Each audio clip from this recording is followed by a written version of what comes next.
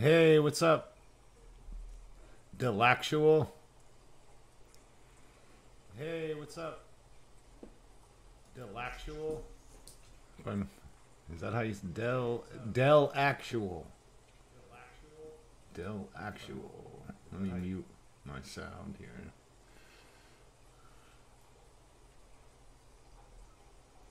Yeah, I, I I forgot to mute my sound. I'm uh on my uh, desktop. So, is there still an echo? There shouldn't be an echo now.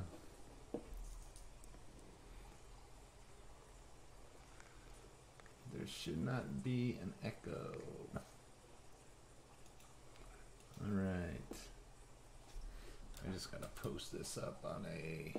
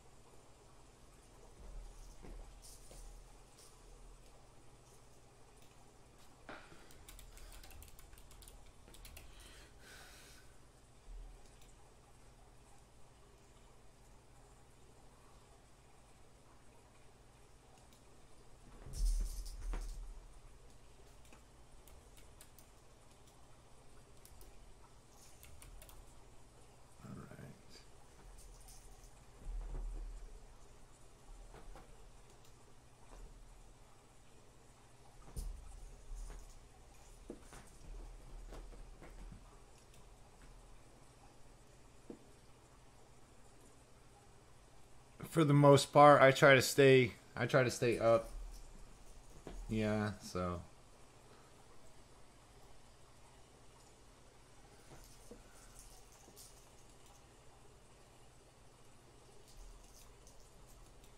Odd question.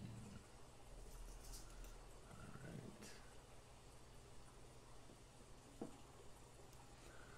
Let me see this. All right. I just wanted to in Pixologic. Put out the signal. All right. That's that.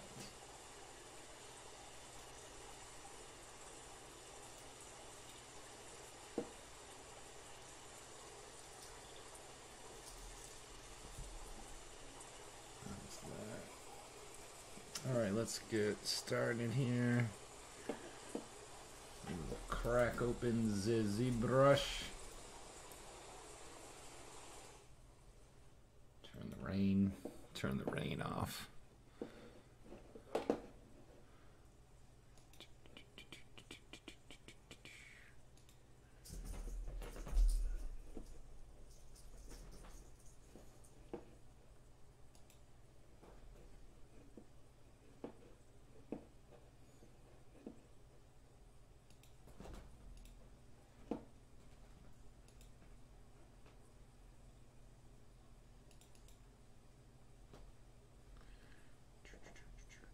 Oh, geez, that's not it.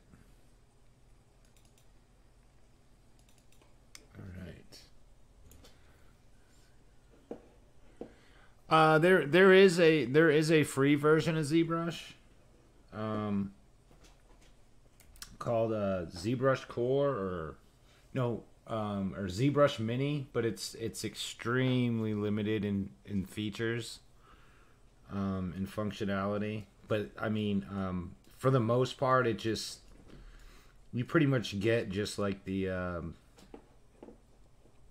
the basics of sculpting. So you know, you can pretty much like um, I don't think you can import or export anything, but but you can. Um, I don't even know if it has subtool functionality, but yeah, I mean, you can pretty much get get into like the uh, rudimentary sculpting stuff with the free version. I forget what the free what what what the free free version of ZBrush. Well, no, not for sculpting. Not no, not not sculpting.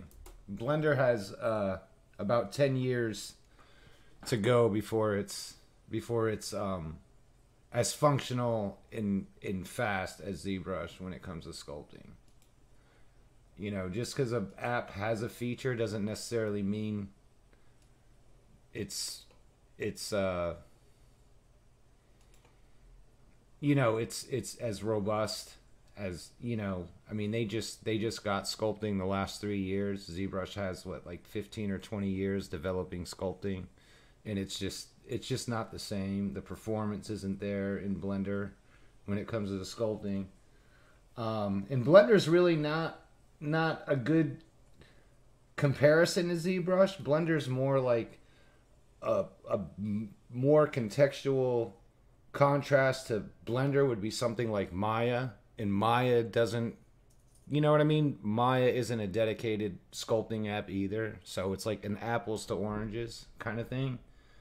You know, Maya has sculpting tools, but again because you have the overhead of all the other tools in it and and you don't have the focus development on those tools it just it just doesn't you know it just doesn't there's really no comparison to blender sculpting and zbrush sculpting so but I, I, I do think Blender's a great alternative to Maya in in 3D Studio Max, and it's rendering. You know, from from what I've seen, it's it's got some really nice um, rendering options, both real time and um, you know both real time and the high in the hybrid uh, rendering engines that are like kind of you know where the CPU CPU offloads some things to the GPU. It's good for that. But overall, like if you really want to get into you know character sculpting, like ZBrush is definitely you know the you know the the the pinnacle of it but you know great work can be done in blender just the same so but it's just it's just you know from getting from point a to point b is is slow in blender. Because it's it's just it's just not it's just not focused. And plus uh zbrush does have they do have they do have subscription options and all that other stuff too so it's not it's not too inaccessible. It's still for for the most part like when when when you look at Maya and or any of the Autodesk applications, they're still like to get, you know, they're still they're still expensive, and I I don't know why. I don't know why Autodesk just doesn't bring Maya down to you know br- bring the Maya subscription down to like you know drop the Maya LT and just bring it bring Maya down to like fifty dollars, but again, you know, companies, you know, they uh, companies have their whole pipelines built around Maya. Like they actually have in-house proprietary tools that they've invested in for, you know, years. So, you know, they, you know, and they, they, you know, they'll they'll they'll pay. Uh, 50, they have no problem paying fifteen hundred dollars, you know, uh, annually for uh, a seat of Maya. So but yeah, you know. so that's that. Yeah, but Blender and Z like a lot of people make this comparison to Blender and ZBrush and and and I, I I don't I don't understand the the focus you know, it's just like so out of context. And the only people who do that are like people who don't really haven't spent a lot of time in ZBrush. They just know Blender. You know, Blender's free. I mean, it's free. You know, but it, it, it's still it's still it's still in terms of sculpting and character art. It's yeah, it's it's it's some years behind. You know, and they're they're they're not gonna catch up you know. So and and and which I also don't get because you know ZBrush also you know, it's like for anyone who bought an original, um, who bought an original license, they haven't paid for it. They've been like the most friendliest company. You know what I mean in terms of making it accessible. Like, well, just show show me the Blender work. I mean, it, it's funny, but you know, show show me like the proof. You know, it's just it's it's just not it's just not there. Blender's not there in the sculpting. Like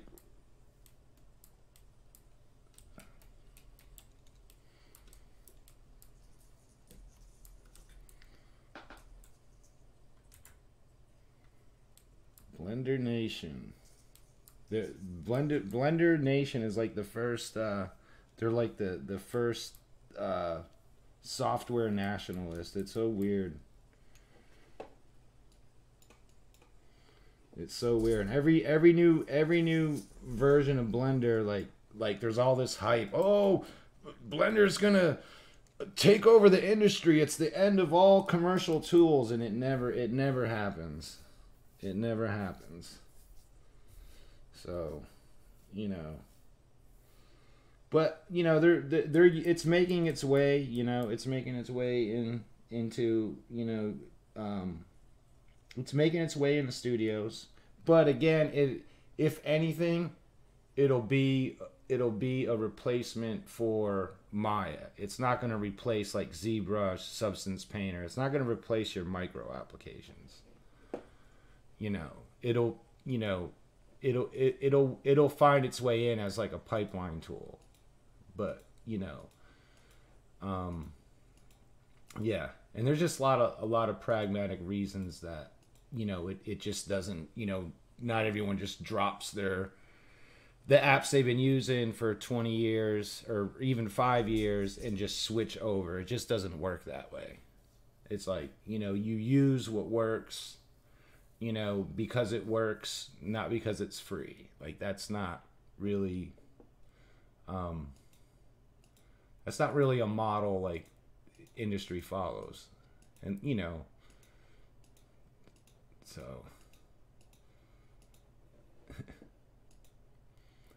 that's that. So what was I doing here?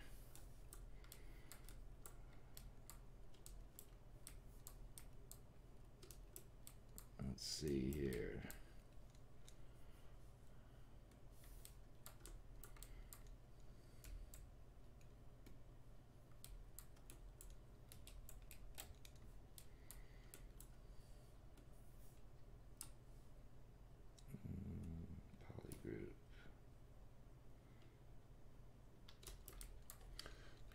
Tighten up these vases a little or, or columns rail columns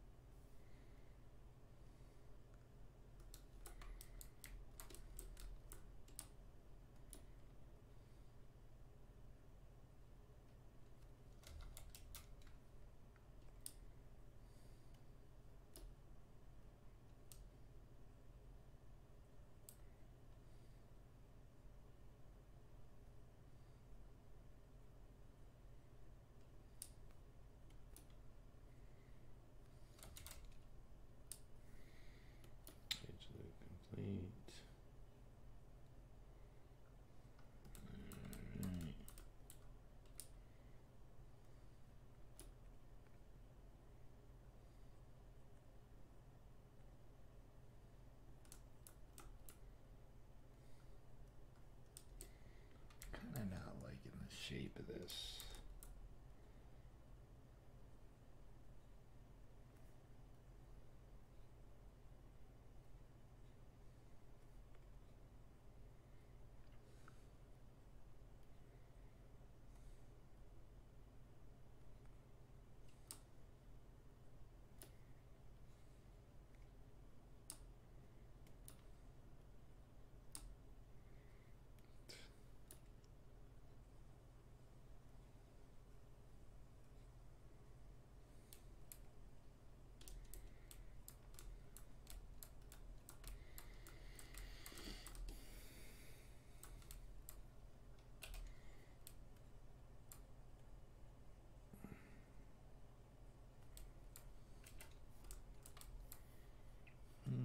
See here. Yeah,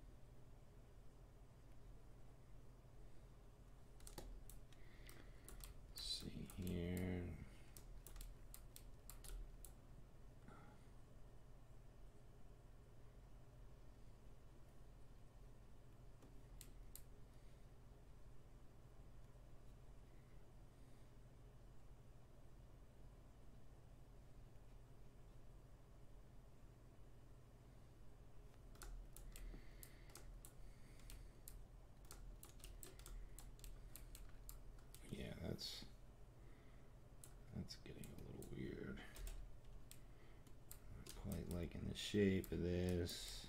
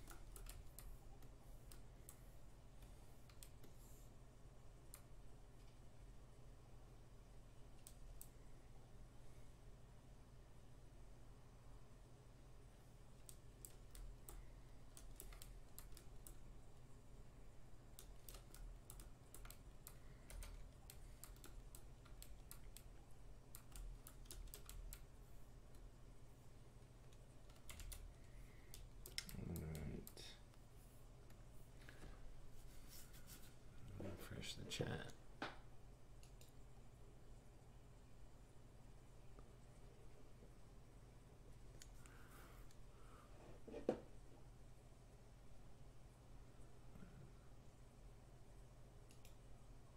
Want to block features.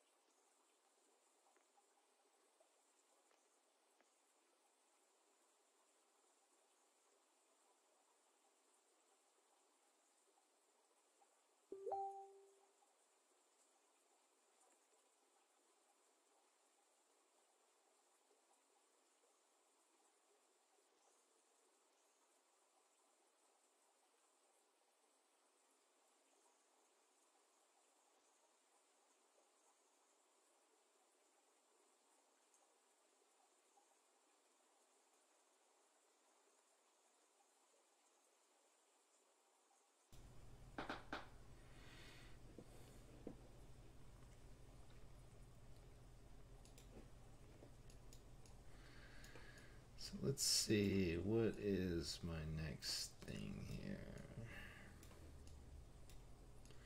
La, la, la, so yeah, I was kind of thinking. You know, I don't know.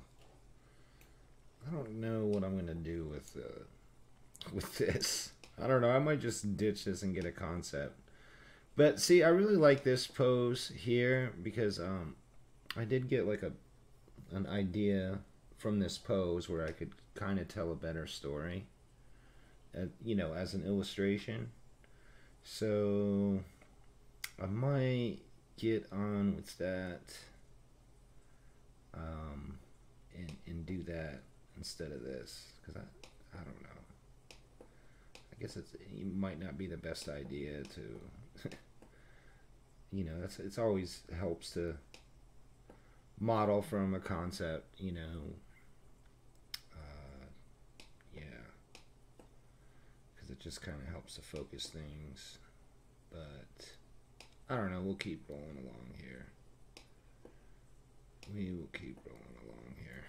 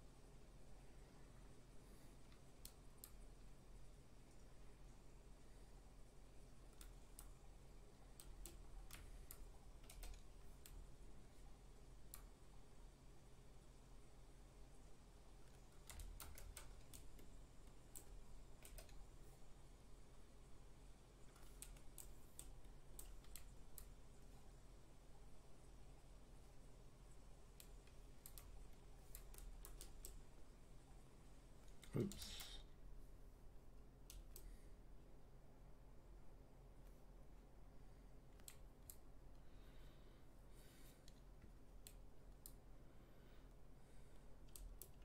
Why is it doing that? What is going on there?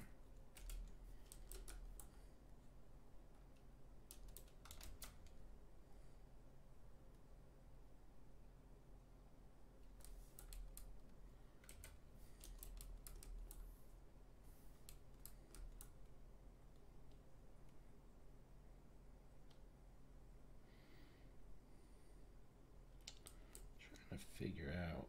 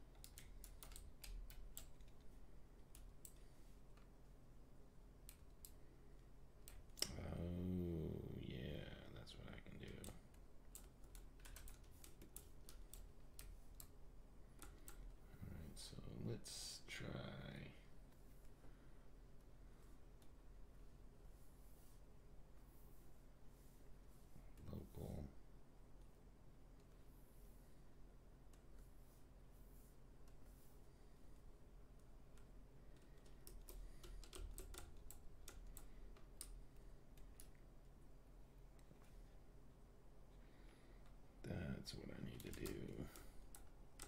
So let me go ahead and slide these up, slide these down.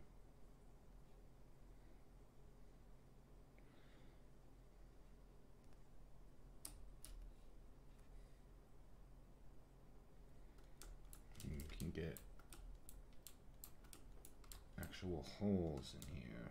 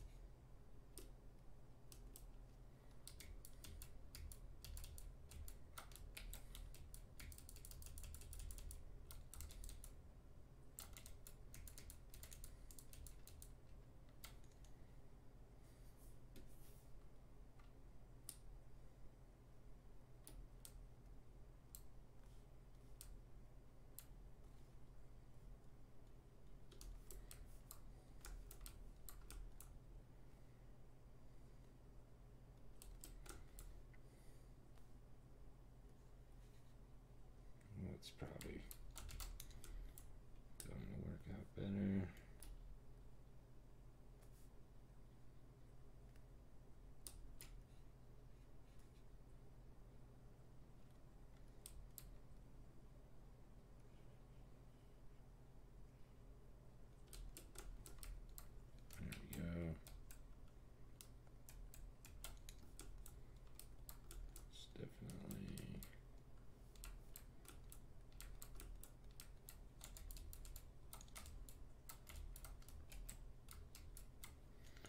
Think that's going to work out all right. Let me just make these their own poly group.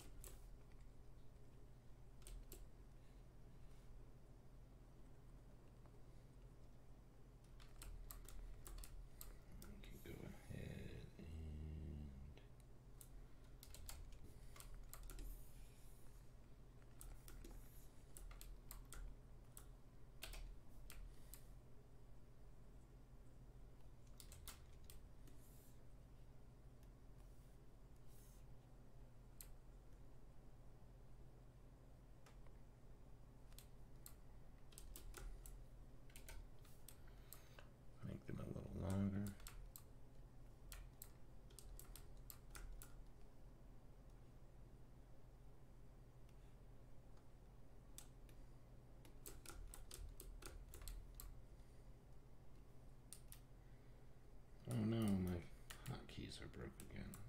Fuck.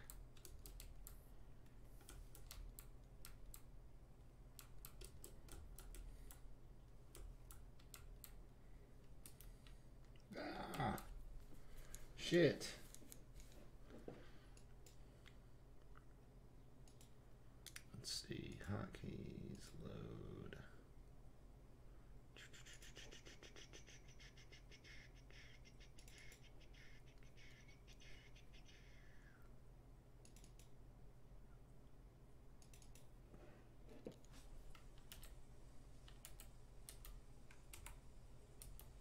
Hmm. God, this happened to me last night. Let's go ahead and delete Polygribal.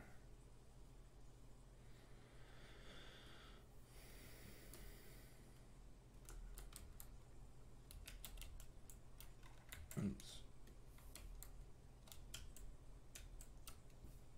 No, no, what happened here?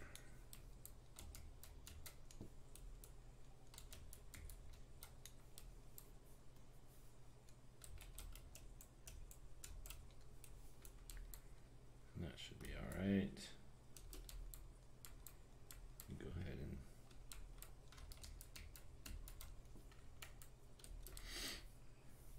all right. I'm gonna have to restart here because my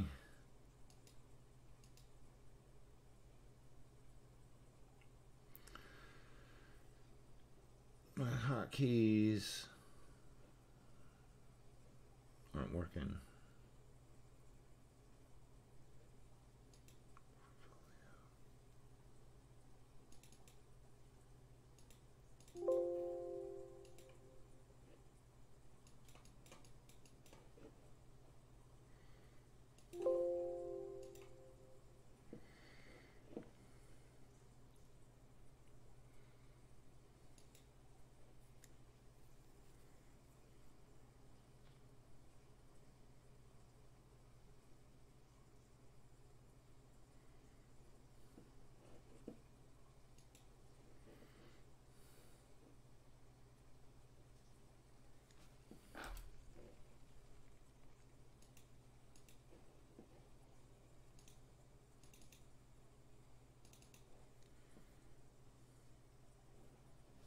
Let's see.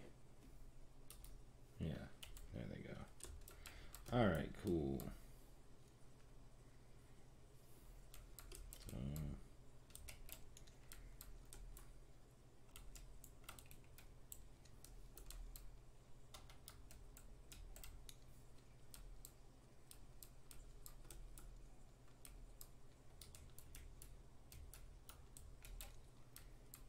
let's go ahead and add some support loops.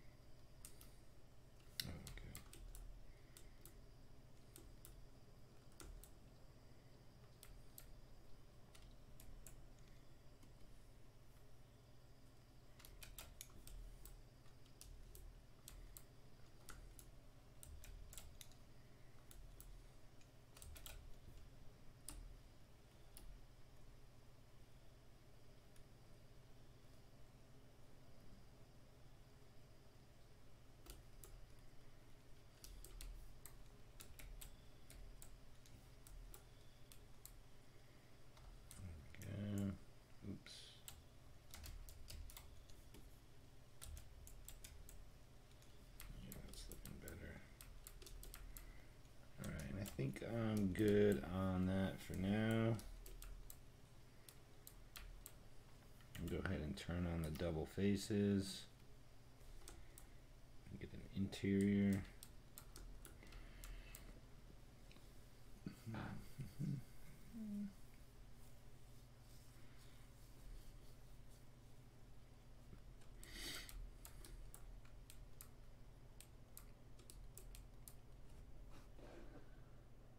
What else do I need?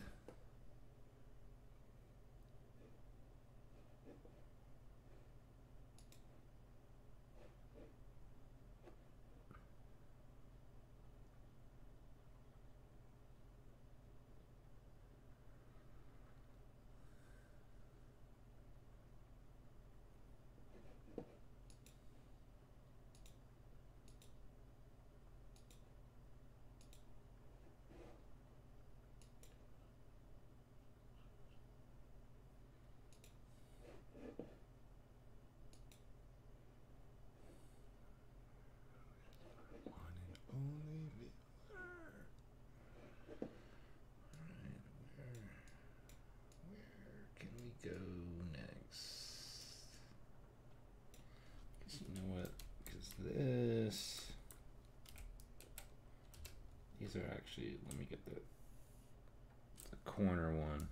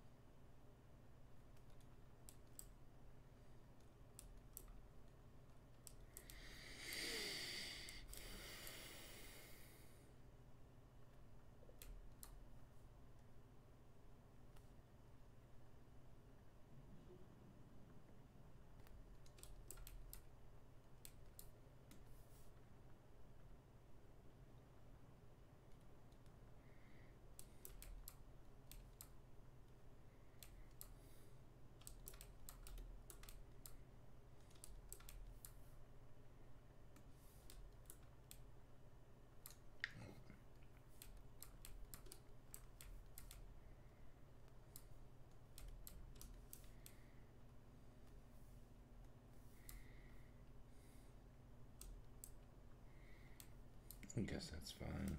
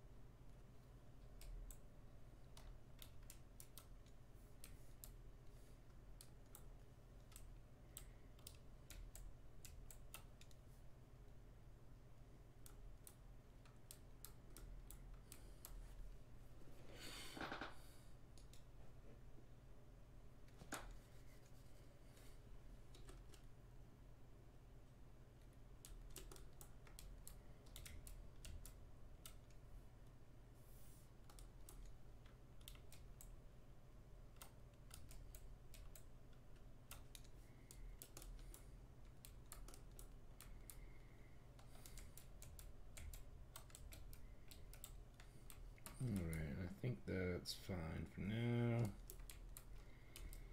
I'm going to take a little break here, use the restroom. I will be right back.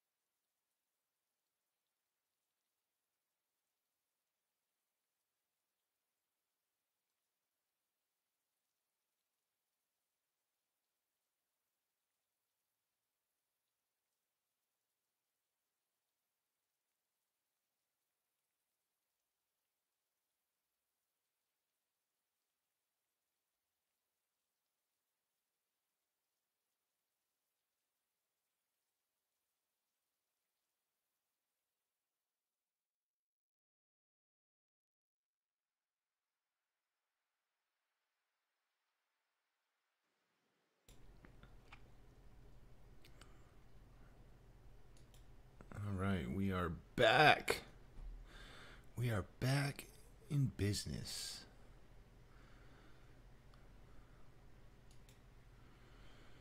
All right.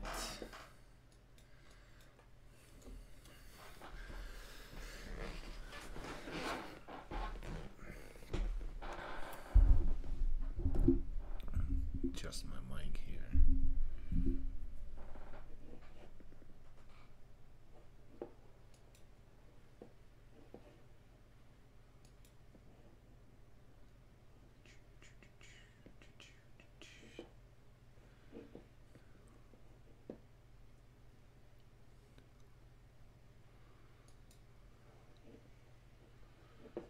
Right, so we are back. We are back. So what are we going to do next? I actually had a friend of mine who was working on some clothes in ZBrush. And so I'm going to go ahead and uh, try to address uh, some of the things. um, address the dynamics just to show just to kind of show how they can be used um, you know to kind of push things um, and I, and I, I've actually got a uh, an IMM brush uh, base mesh that could kind of facilitate what he was working on. So I'm going to step into that for a second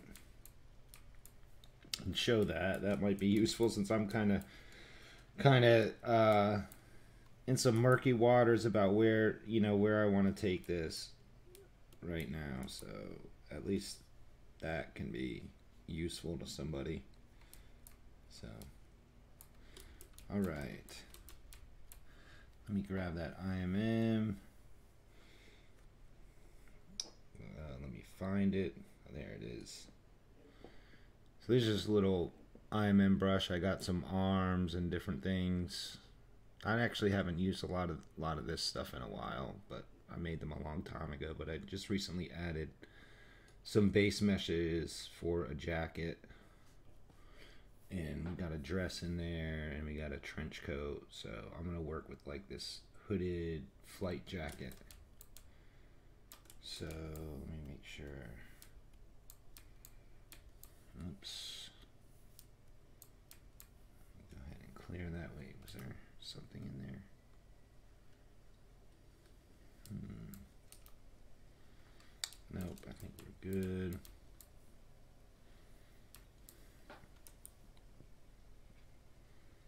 Hmm.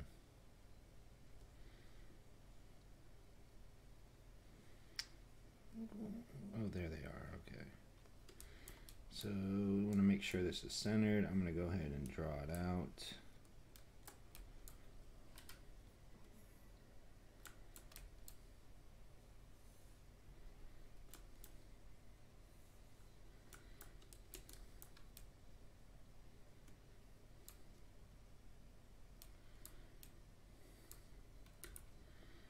Turn the color off here.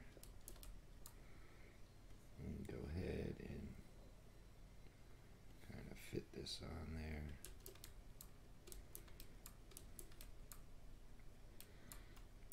And Turn her hair off.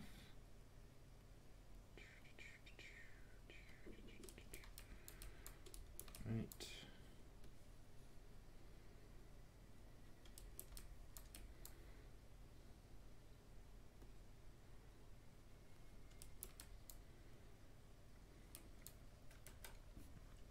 In this jacket, I was. Um, why is that pink? Oh,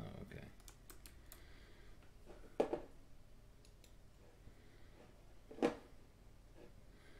In this jacket, I, pre I pretty. Um, I pretty much modeled it in ZBrush. It lost some of the poly groups it had, but let me go ahead and get rid of the dress or bathing suit or whatever that's supposed to be. I'm not sure yet. But anyway, I had modeled this in ZBrush, uh, starting with the extract, starting with extraction. You know, I just extracted the base geometry off the off the body and um, I actually I actually used you know it was uh, the low res here was done with uh, ZRemesher using polygroups. You know, I, I, think that's for for a lot of things like, you know, um, for things like clothing and armor. Uh, you know, it's always a point of debate if you should manually retop that stuff, and I say no, because if you if you learn to use like if you learn to leverage polygroups and, and you start utilizing them, they're a huge lifesaver uh, in ZBrush. Not a lifesaver, but it just it just it, you know a lot of other things are kind of dependent on polygroups, and if and if uh, and if and, and I, I notice a lot of ZBrush artists don't really use them that much, or or like you know, I don't know. They just, it, but it's just an, it's a very effective way to like manage your models and manage the various parts of your models. So, um, let me increase this. But you know, it, it's definitely it's definitely worth getting time to know. Um, if if you're if you know if you work in ZBrush a lot and even even um, like I said, when even when it comes to just managing managing your models overall, uh, you know, when you're exporting them to other apps, you know, it, it, it, it makes it a lot easier, like in terms of uh, baking ID maps and that sort of thing. Um, uh, material IDs and stuff. Um, you know you can you can you can apply the polygroup colors to a mesh uh, for that kind of thing. There's there's just there's just a lot of there's a lot of functionality to polygroups, and in in in one of the one of the cool functionalities is definitely uh, polygroups with uh, ZRemesher is probably the most effective means of of of uh, getting topology done on objects inside ZBrush. So, you know, um, it it it it, it kind of helps. Can it kind of uh, not kind of, but it but it it does a lot to control the edge loop and edge flow. You know where polygroups are assigned. Like it's it's always going to give you. If you have a polygroup, you're always going to get like around a seam or something on a coat. You're always going to get like you're always going to get good edge flow in that area you know where that part breaks off. And those edges come come in handy uh you know to model certain things in you know like a seam on a jacket you know. You can just go ahead and bevel it and you know um, extrude out a seam or extrude out the geometry for for a, seam or just you know work you know work with to help you work with those area, areas uh, really efficiently. So you can use things like scale you know if this had shoulder pads or to just get that nice that nice overlap you see on a um, uh, seam in a jacket you know so you can get get a nice volume and also if you need if you need more resolution on things you know you it, it makes it easy to break off the parts and then keep them organized you know. It also helps with UVs uh, UV by polygroups you know you'll get you'll get nice islands on your respective parts. Now if I just go ahead and unwrap this real quick.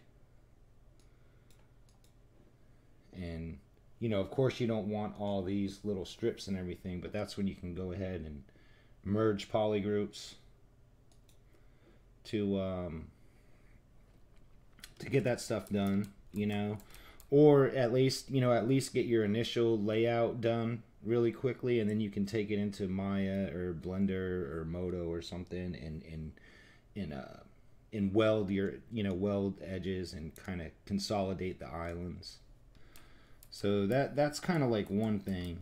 And if i go ahead and let me just do an example oops here.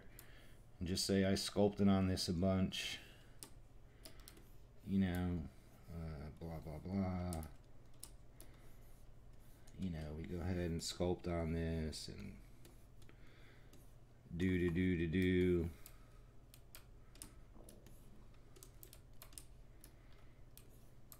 you know and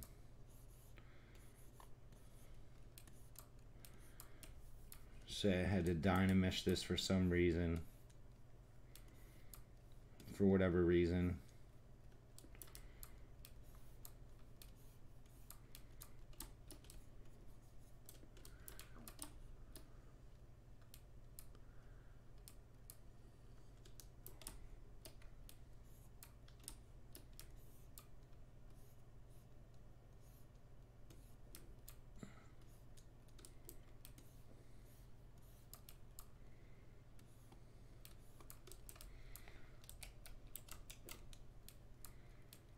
so just say that then I lost my subdivision levels, or you know I added some uh, parts in in whatnot.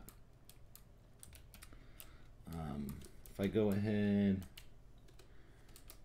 and run ZRemesher with keep groups, and you can go fairly low. Like right now, this is at you know we'll set it to like 15, 1600, and we'll go ahead and now with symmetry, I have symmetry on, so I'm gonna anything that's not symmetrical, you're gonna lose.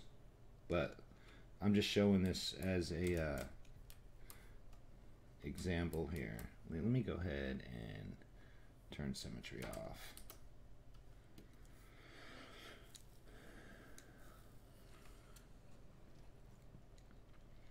Go ahead.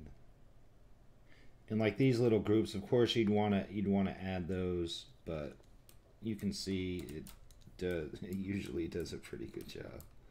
It doesn't want to do a good job right now. Well, that's because I have these, you know, for ZRemesher, you, you, you do want to, you do want to, um, like if you have like too many groups, it'll throw it off. So you can consolidate them.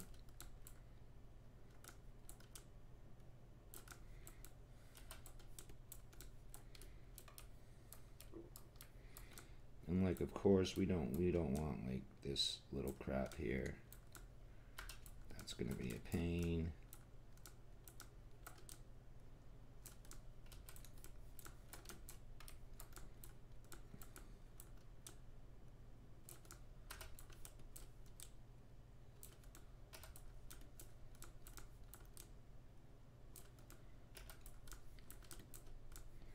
It just helps to think about your, you know, like to arrange polygroups. Um, you know, to anticipate edge flow as well.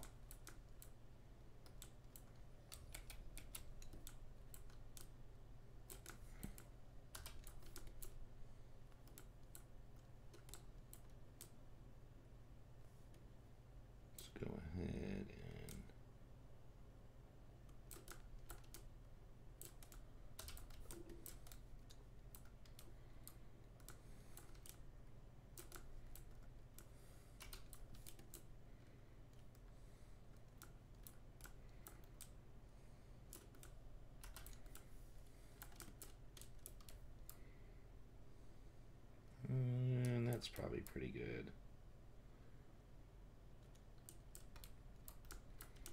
And just say you can use a slice curve brush to assign polygroups. I use this a lot.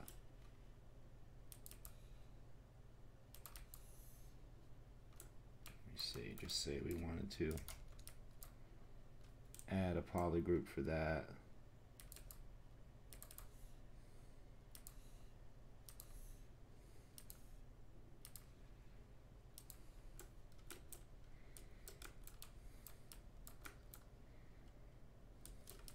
Right, let me go ahead and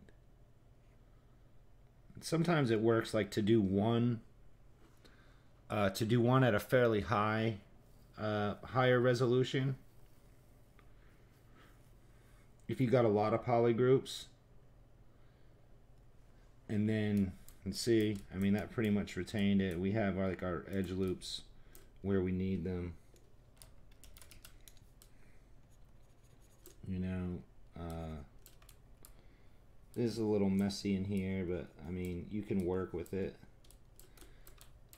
You know uh, then you can go ahead and drop them down to say like 15 and let's turn symmetry off. And you go ahead and knock it down.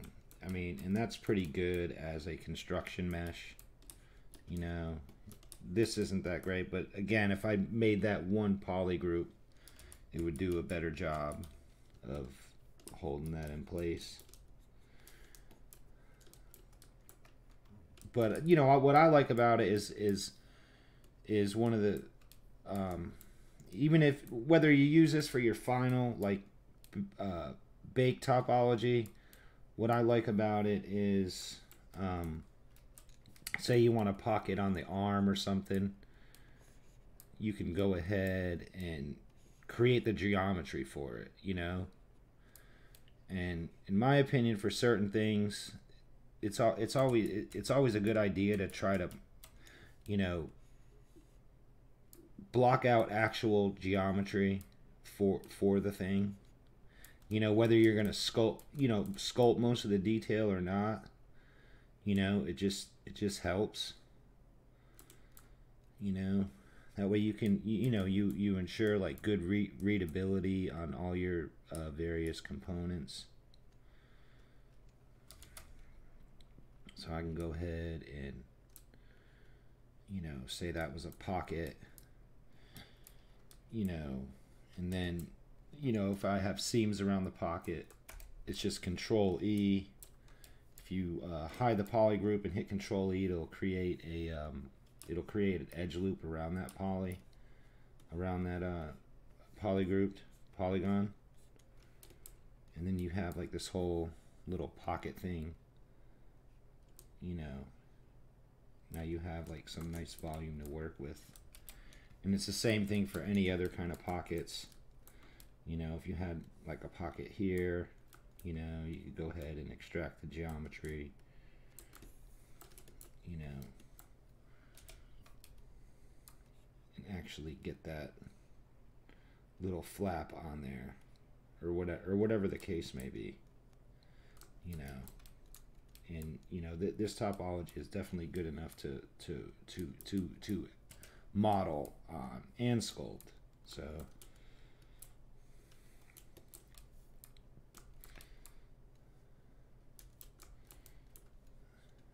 so say I had a little I wanted to put a seam here.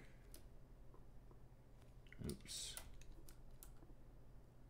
Yeah that didn't come out so well but let's see here. We can do the same thing. Control E and it'll give you the poly group you know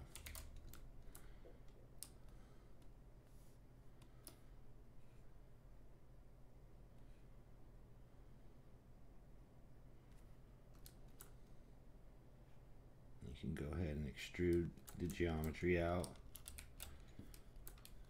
You know to get a nice readable seam and what have you. Or if you wanted to add the little pocket, the little uh, pocket flap, say like on a jacket, you know, go ahead.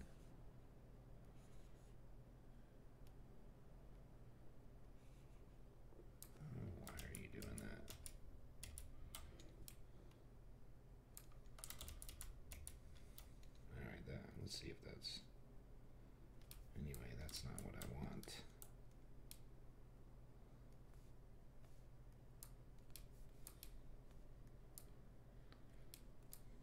You can go ahead and just extrude that out. And take something like the move brush, mask by polygroup and you can kind of pull out that the flap for the pocket or whatever you got going on. And then you got like these edge loops to model out seams. Oops. We want that. Change it to additive. Just that sort of thing.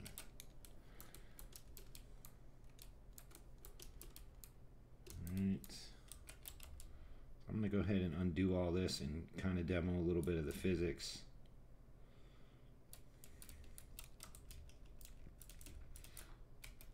So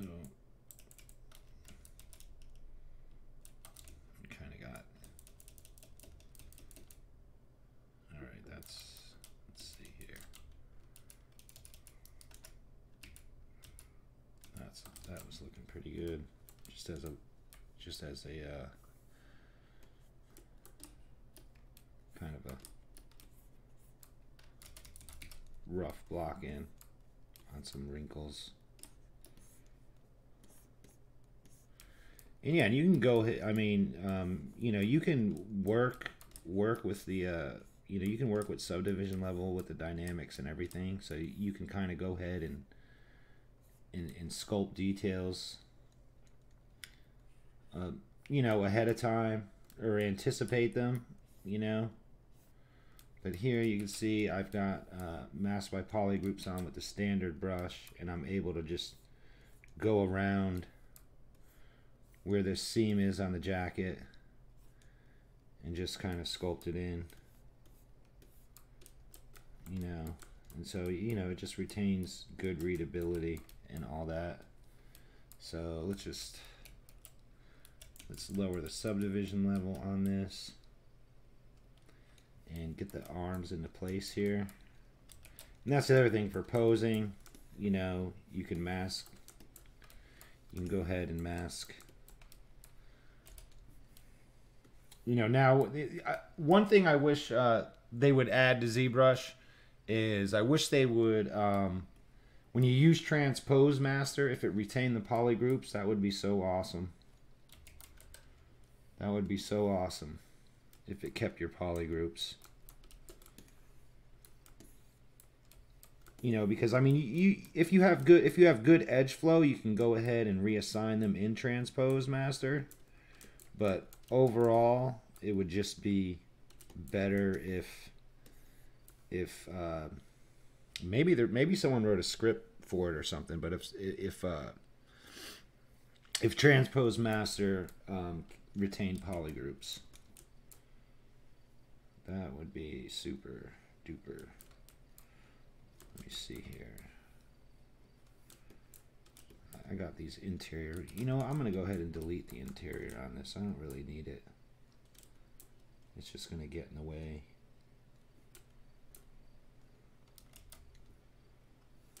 Yeah, you know what, who cares? I'm just going to make sure I got my interior. Just kind of want to move this into place on the sleeves. We got it all? I think we got it all. All right. So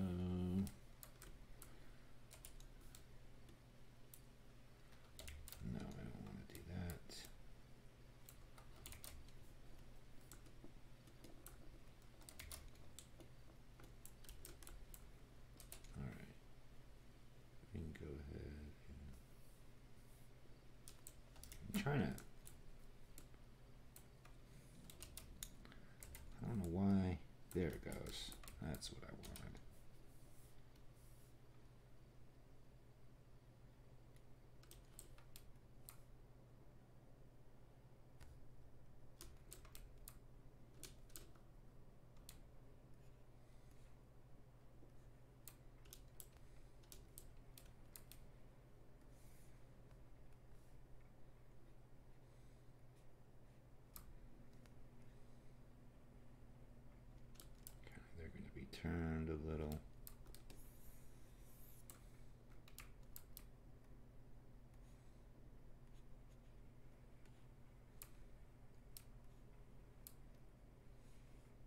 Oops, we got something going on out here. We got something unmasked. Let's go ahead and mask that.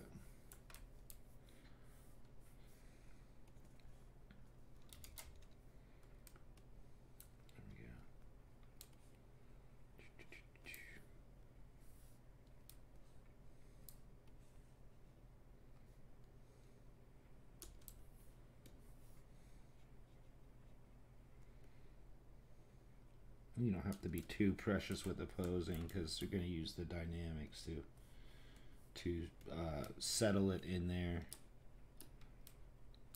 to fit it so you can just kind of move it. And normally this would be an A or T pose or something but oh we got this fucking crap. Let me see here. It's really you know what? I could just delete these off the go ahead and delete those mm.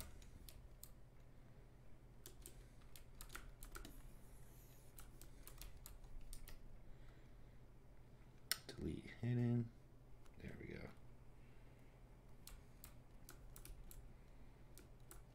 And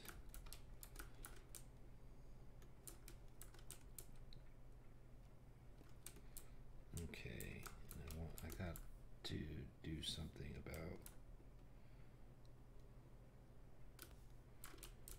this auto groups. Good. There we got that. And we can go ahead and get rid of that. Yeah, that should be most of our interior pieces.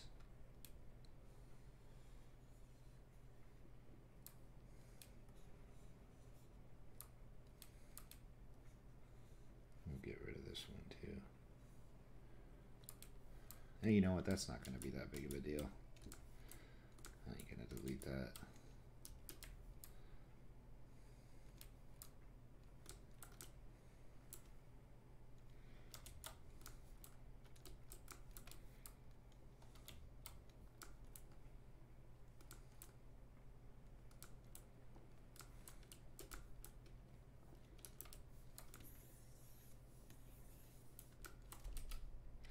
Always mask when I delete because it, it keeps the, uh, you know, because sometimes if you've got subdivision levels on it and you delete, um, it'll kind of it'll it'll kind of soften everything you sculpted. So I I found out if you go ahead and mask it, you'll retain that stuff.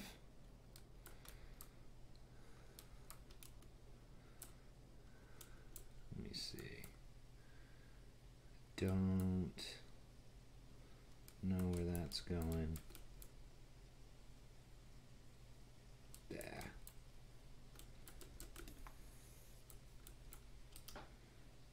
Delete hidden. And we got this piece right here. We just need to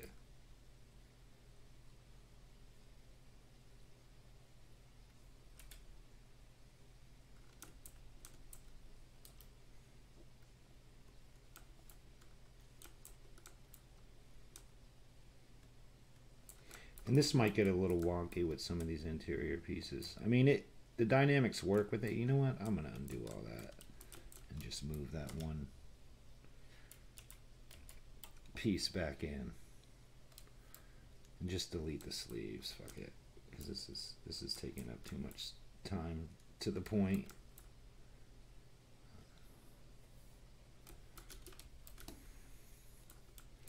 I just don't know how the dynamics are going to behave with the uh because sometimes you get you get kind of weird results with let me see here auto groups because there's this face in here there we go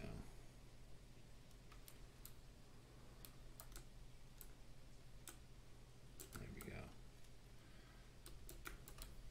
this should be fine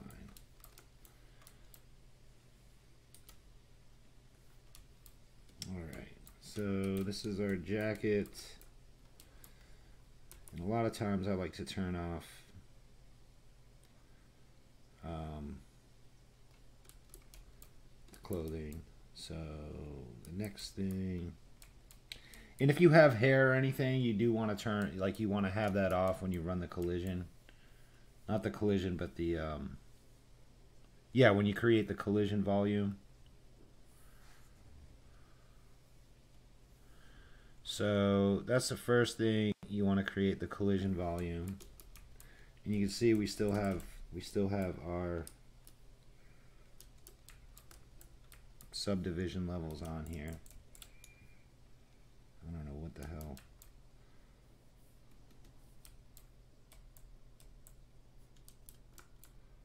Hmm, that's weird.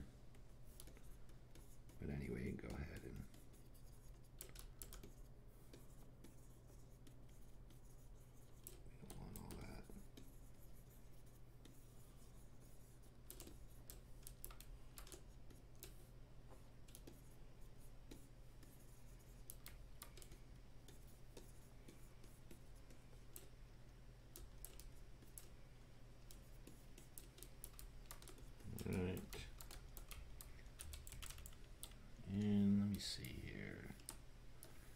probably get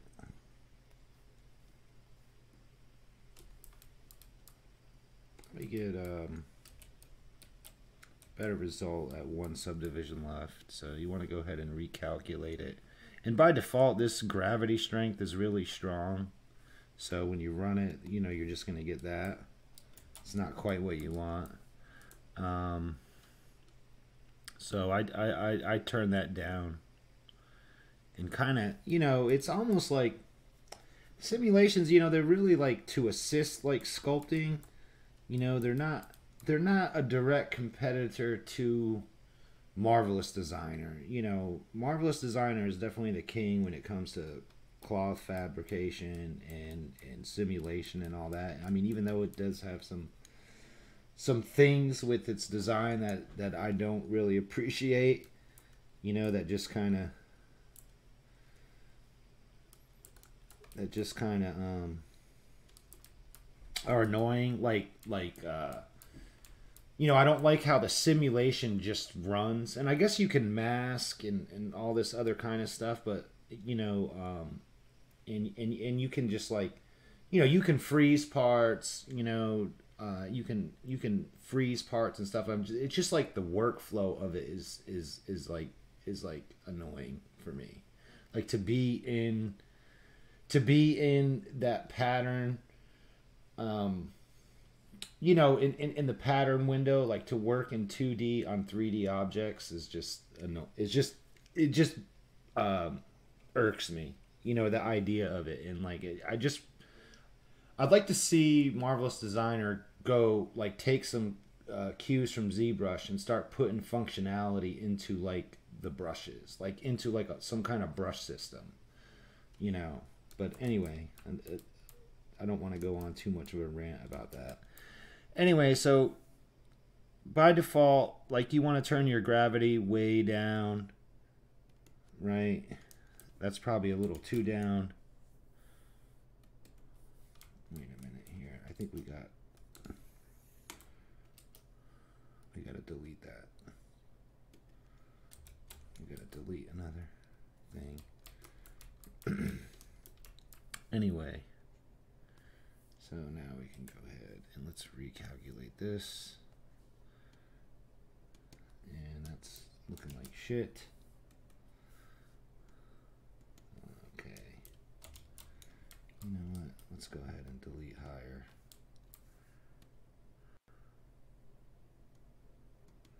And see now now that I'm demoing this it wants to like act up.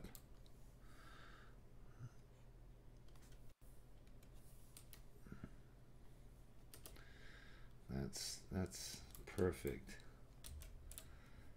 Let's go ahead and delete all these subdivision levels. There we go. I guess I had a problem with the subdivision levels. So, um, liquify, just uh, this liquify option kind of does just that. It kind of, you know, makes things kind of wavy and swoony, you know, nice fall.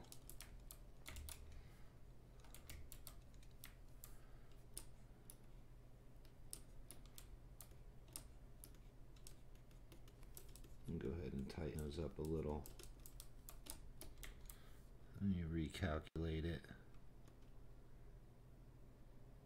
And so there you go. You're getting a nice fall on the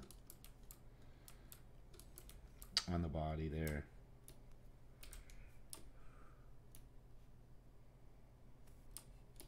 And that's looking pretty good. Right.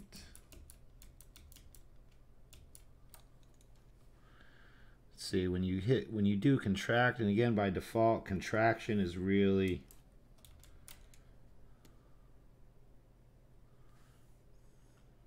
is really um, strong. But if you tone it down quite a bit you know that's probably a little too much.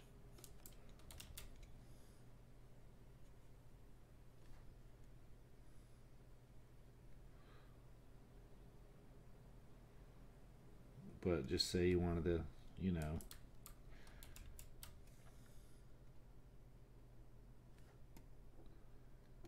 there we go. That's probably pretty good. And expand does just that. Kind of expands. You know, you'll get more, a little more bunching and stuff with expansion on. All right. Oops. Raised the subdivision level. We'll get a little, a little more out of it.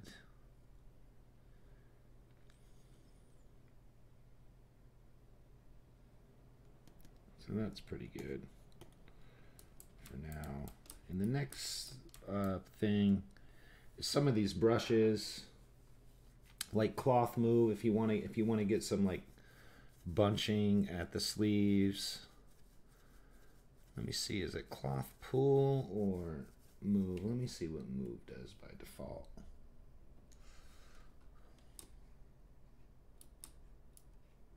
yeah so and again if you have poly groups you can go ahead and you know mask off areas pretty easily.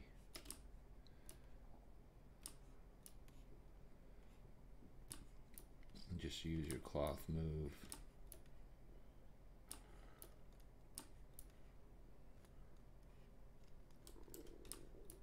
You know, and that's same thing around the edges, you know, where you got like seams and stuff You know, just kind of pull that out. And again, based based on your your your collision uh, setting, you know, it's still gonna, you know, it's still gonna obey all the meshes underneath it. You know.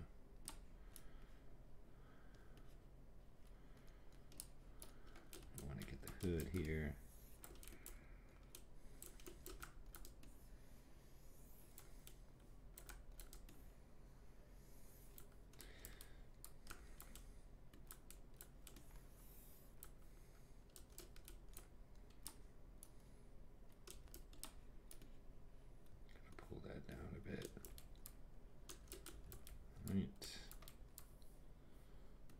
and like I was saying earlier, like like overall, like they're here to like like you know they're mostly to like assist in your sculpting, you know, to kind of to kind of get things, you know, to kind of get like the suggestive key elements to how your cloth fits you know in in in in, in, in a lot of regards you know um that's kind of that's kind of the deal with Marvelous too. You know, because uh, you know the cleanup. I mean, you've got to do a lot of cleanup to really get those results out of there, you know? So, then if we go ahead and let me see. Oh, we got mass on. So you go ahead and subdivide it, and things are looking pretty, pretty cool.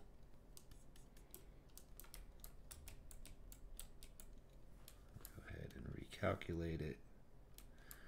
Kind of turn this expand off. And you can kind of relax it. That's probably. Nah, stop, stop, stop, stop, stop.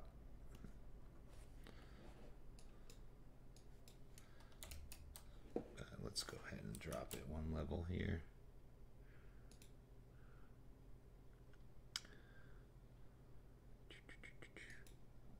There we go.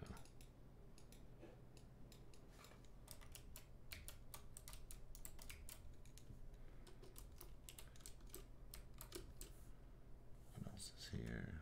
Cloth nudge. Cloth nudge just kind of nudges things. But yeah, if you if you get in there and and you mess with the settings, you can get some pretty pretty pretty good results. And a lot of times if you go ahead and if you kind of block out, you know, it it it'll respect like like if you put um seams and stuff, like if you place seams or sculpt in any seams for the most part, it it'll retain you know it, it'll retain uh, the detail at the higher subdivision levels without mangling them too much. But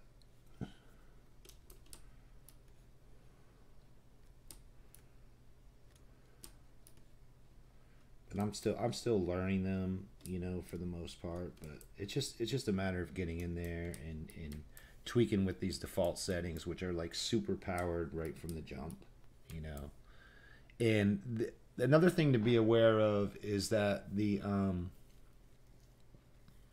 there like a lot of things in ZBrush are scale uh, are relevant to scale. So if you're getting like really weird results results from something, no matter what um, no matter like what settings you're using, like like um, a lot of times that's like a scale issue. It's just like because Z- ZBrush kind of has its own. You know, it doesn't it doesn't have scale per se, but it but but its tools are like kind of developed around. Like if you look at Dyna, you know, Dynamesh as an example, like um, I can't remember if something's like way big. You know, you can crank your Dynamesh all the way up to like uh, 4096 or whatever the highest uh, level it goes, and you'll still get like you know you'll still it'll it'll dynamesh to like uh, a thousand polys or something like that. But the way to fix that when you're running into that um, you know if you're not in a production environment and you you know you're not exporting to a game engine and all that uh, if you're just doing a sculpt you know in high res work like it doesn't have to go anywhere um, you, you know uh, you can use Scale Master, and if you do ZBrush Scale Unify, if you just run that um, and just set it to centimeters or whatever. But if you run the Scale Unify, that that's actually unifying the scale to all the functionality in ZBrush, and so that would repair like any crazy issues you're having uh, with Dynamesh working weird, or even like a, you know, um, the the dynamics it's a, it's the same thing you know if if your mesh was like way huge like if you export it to maya and the thing's like you know a thousand feet tall and it's just like supposed to be a six foot character then like the the gravity strength would be like um the gravity strength would be like even at the highest setting it, it, it just wouldn't it wouldn't work right. It, it's gonna like uh it would you know, it wouldn't be as powerful. It would kind of dampen the, you know, whoa, oops. But yeah, it would kind of dampen the um, the strength quite a bit. So yeah, scale's important, and in, in, in any more, you know, I always like, I always, you know, all my characters are like six uh, feet tall, you know, scaled out to seven uh, centimeters. So what's that like a hundred and I don't know what, what what's what's six feet to centimeters. I think it's hundred and seventy six centimeters. But I just got in the habit of just making sure everything's like scaled right, like from the beginning, um, because it, it always causes a lot of problems later down the. Road. But if you're again, if you're staying in ZBrush and you're getting like weird stuff, like the Scale Master utility, I mean, you don't you can resize and all that, but I, I haven't quite gotten Maya head around that, and I've gotten myself into some trouble with that, and I just ended up, um, you know, uh, exporting everything in in scaling it in like my exporting all the low resolutions and scaling it in Maya or something, you know, at at six feet, you know, using the um, using the uh, the measure tool and then re-importing it and then and then unifying the scale, but Unify ZBrush Scale Unify will uh, will unify um will will unify everything to to ZBrush's like world like in, in tools. And another issue you'll see is like with brushes, you know, like like where the max size is like, you know, too small. That's another scale issue. And that that that's only that that's with dynamic the dynamic brush settings, but it's it's like the same idea. So if you're if you're cranking it all the way up in in in you know you're still not getting you know a good a good brush size like like at max it only gets like this big that that's a scale thing even if you go and even if you go mess with the um the uh the brush like you can't even fix it with doing like max brush size and brush scale and all that, it'll still be off. So yeah, just want to make a note of that. If you're getting like really weird results with with uh, with certain tools in ZBrush, no matter like what settings you're you're using, it, it's definitely it's definitely going to be in the realm of scale and whatnot. So. And using the ZBrush Scale Unify will, will will fix that. It won't fix, uh, you know, it won't fix like, you know, if you export to Marmoset and the thing's like a thousand feet tall, you know, um, it won't fix that, but it will fix it inside ZBrush. But yeah, it's always good to just like kind of, kind of get a habit of, um, get get a habit of your scale and and you know um, and, and have like a, a scene that you always use where you know the scales right and and stuff like that. And that that's kind of like what i do. Like to just not have to think about that anymore you know? And i always work in centimeters you know that that changes with print i think. I'm not sure all the specifics of print like but yeah. Just a little little rant end rant but those are they're just things I see. I've seen you know I've seen artists get into trouble with over the years, and they're just like, ah, oh, this is not working, and blah blah. You know, I did everything, and you know, yeah, it's really frustrating. It's really frustrating. But so where am I at? So I guess. Um, can move on with this character a little bit here.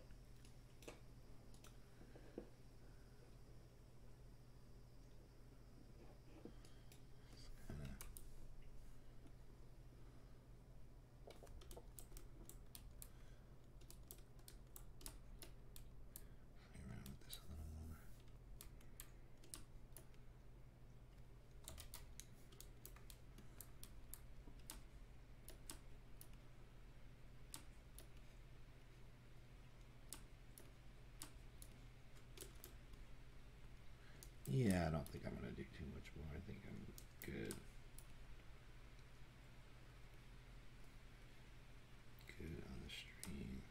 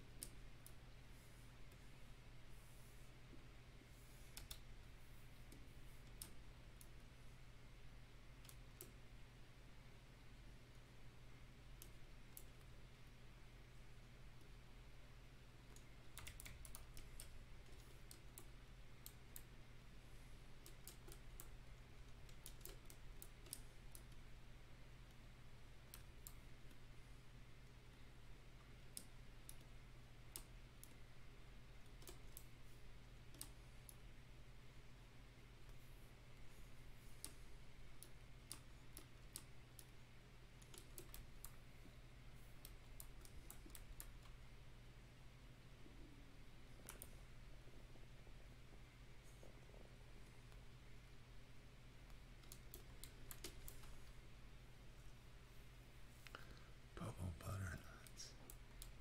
Bubble butter. LOL.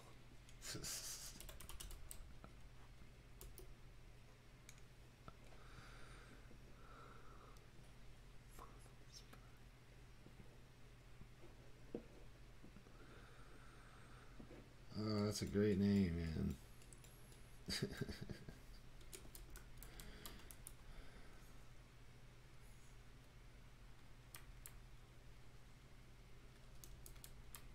Shit. So I don't know what I want to do with this character yet. Um, I could while I'm on it. Because she does have like this dress thing.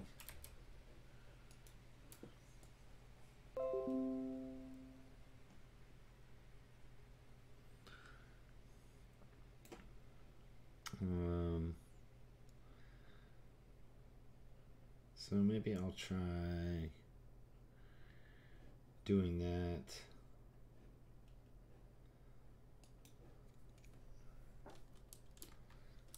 What I can do here is delete the crotch. Kind of work this into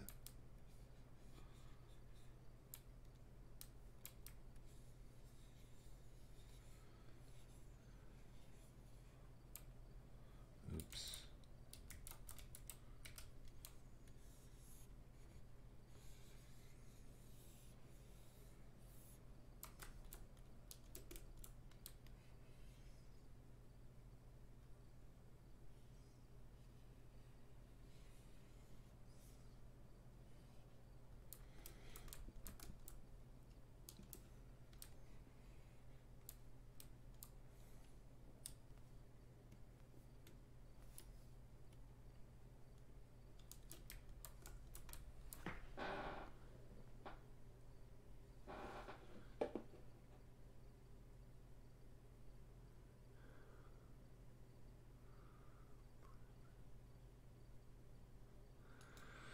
Yeah, man. I, I yeah, you gotta you gotta you gotta spend more than an hour with ZBrush, like uh, or any application really.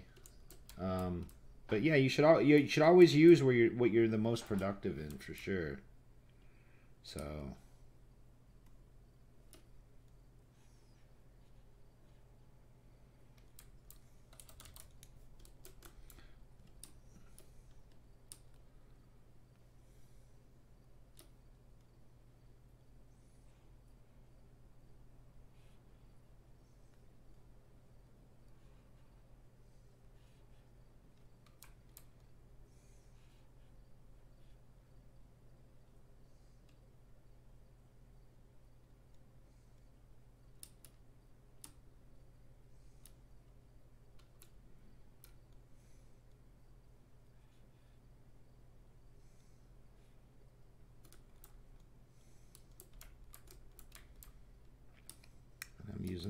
extrude move. And that'll just that allows you to just like extrude an edge out and it you know it'll it'll snap. It'll just go ahead and snap for you. Cause I'm actually um, turning this into more of the dress because it's actually a dress in the reference.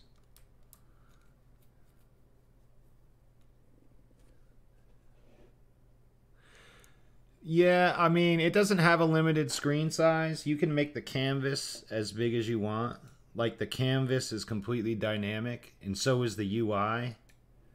So, like right now, I have my canvas set to 240. Uh, and and those things about the UI and stuff is, um, yeah, if you, uh, yeah, it's just the canvas setting. You know, you just set the document and you can set it to whatever size you want. Um, but you know, you want to stay stay relative to the display you're using. Um, but unless you were like rendering a poster you know you could set it to like 5000 by like 5000 you know if you were rendering like a poster or something and as far as the ui the ui is completely truly customizable like you can you can wipe the ui clean and build out and completely build out the ui uh, yourself you did what you created a custom ui Yeah, but you got you would have to know like the tools really well to know. You did what? Change the document? Yeah, I don't know. I don't know. Um, the, the yeah, it, that could that's probably an issue with your with your hardware. Like you know, because um, ZBrush is completely CPU dependent. It's not. Yeah, I, I, I, yeah, I don't know. I don't know, man. Yeah, I don't, I don't know what to tell you. You really have to. You'd have to spend. You'd have to spend a lot of time. You know, maybe about a month. You know, to a couple weeks to get to get your handle on any application. It's like, you know. I've I've never had a problem with the UI. So, I mean, I don't really have a problem with any UI in, in any application. Because it's just a matter of knowing where buttons are. Yeah, well, the canvas size, if you're having trouble, like if you can't scale your canvas, then, then, you know, and it's like crashing or something, like that would be the only thing that would, that would cause you to have like a limited canvas size would just be your hardware. There, there's in terms of in terms of functionality it's there. It's just um, you know your hardware would would have an impact on canvas size and all that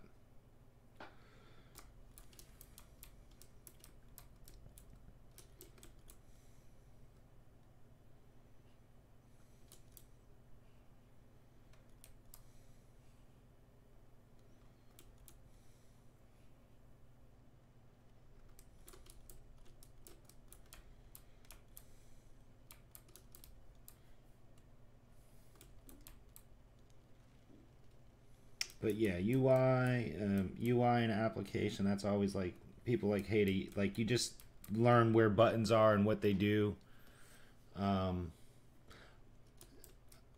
you know, and and that's that's with any application. There's really there's really nothing. There's really nothing different than any blend than in any application, like as far as UIs go. Now, if I had to pick something with the worst UI, well, it was Blender up until I guess about two or three years ago.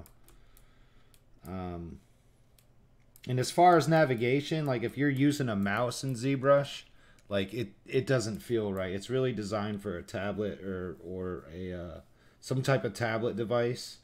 And really, most of the time, the only things you're ever really using is Alt and Control. Like so control and you drag the pen and you zoom. Um, Right click on the pen rotates an object. Alt is panning like it's like all is panning there's really there's nothing there's nothing like you know it's there's not a whole lot of it's not real complicated like you don't have to do a lot of finger yoga you know to to to navigate. And that's all the ui is in ZBrush it's just navigation. So and the rest you know you're selecting stuff. So if you think about it like a canvas you know uh, you think about it like um, the old school like drawing drafting boards where you know you have all your pens and rulers and stuff around you. And you know you're going into you know you're selecting a tool. That's kind of like the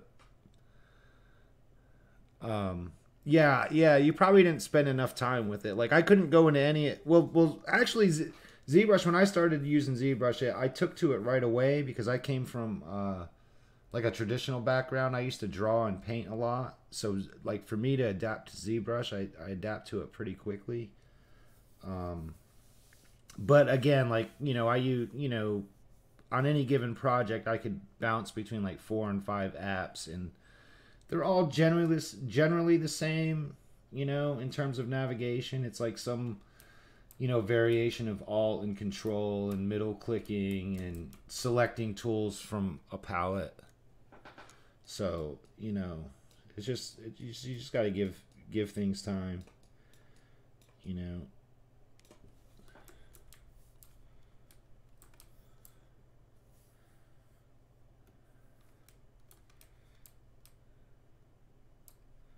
But and I think and I think one of the things that you know um, there's a lot of you can get into if you don't customize the UI you can get into a lot of uh,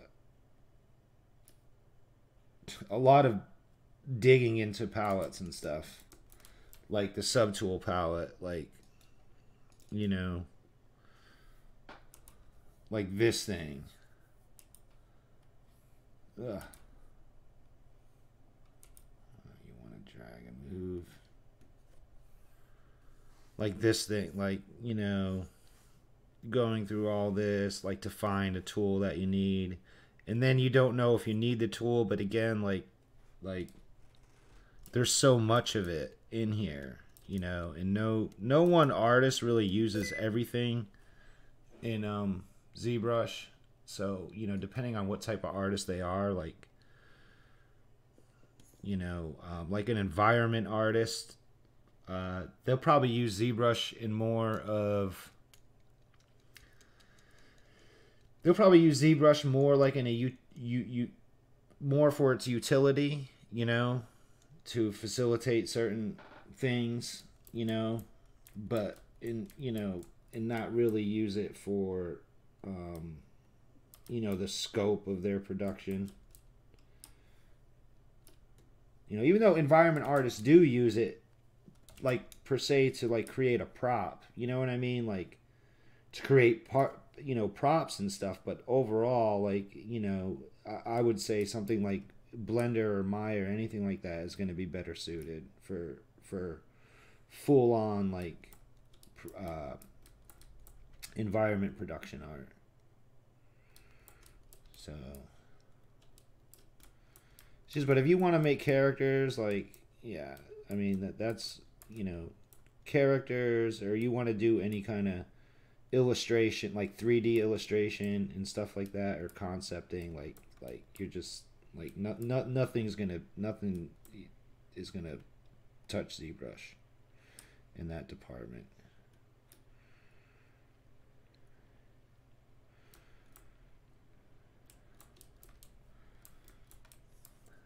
But yeah like you know you see all these menus and until you know what you need when you need it like you know, um, you know that's why I take a lot of these buttons that I use a lot, and I just you know, and I and I customize the UI, and so I don't have to be digging through these trays.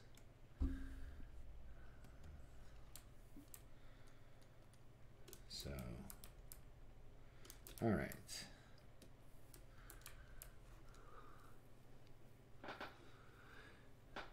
Yeah, I don't I don't mind the subscription for Maya, but I, I hate the um it's just too expensive. Like like I if they I, I don't you know, and I they work out their business however they work it out, but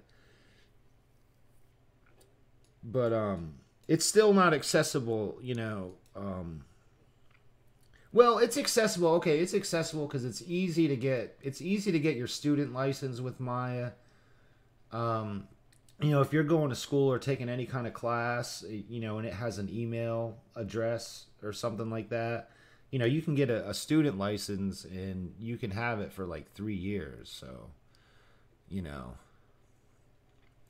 yeah, yeah, Maya did used to have perpetual license. Yeah, way way back in the day. I, I think they went subscription in like I think it was like 2013 or 2014. But yeah, but the thing is, see, their maintenance cost. They had all these maintenance costs and everything else, like, like, uh, you know, even when they were perpetual, like, and if you didn't, if you didn't have, if you didn't, um, if you didn't get the maintenance cost, like Maya was like five thousand dollars for a perpetual license, and if you didn't get the maintenance, uh, let's see here, Edgeloop what do you want to do? Edge polyloop. Let's see if that's what I need. No. If you didn't get the maintenance package on top of it, like you didn't get like service packs, you know. So I mean, I you know the the subscriptions are probably overall they're probably actually, you know, a little cheaper for say companies. You know. When you when you when you added in all the all the other costs. Let's see, edge loop, poly loop, edge loop. Which one? Okay, that's what I want. Edge loop. You kind of pull that skirt out.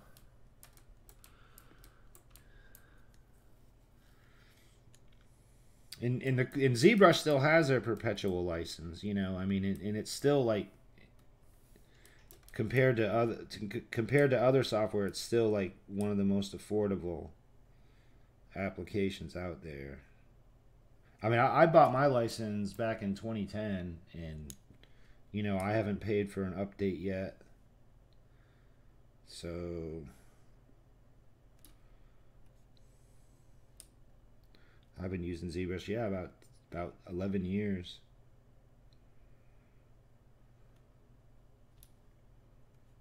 Oh shit. Why why are you not working? Insert. There we go.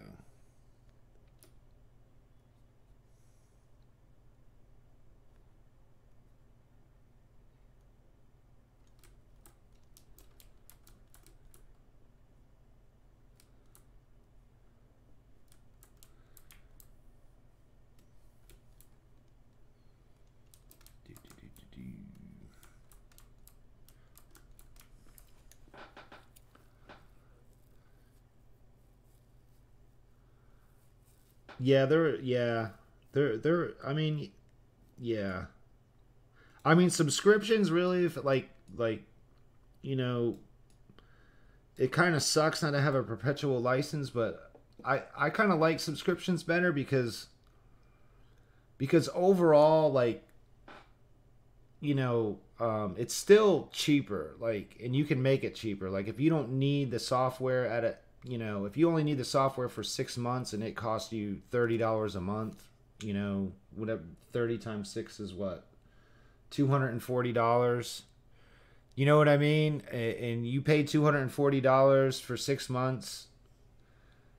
You know, and granted, that's like that's like you're you're working in some kind of production scenario where where you know you're you're either making money as a contract artist or you're you're you're a business itself but you know where, where whereas if you you only had the option to buy a perpetual license like and you needed a tool for something then you're you know you're spending two or three thousand dollars and you're only using it for six months. So i mean th- there there's advantages and disadvantages to it.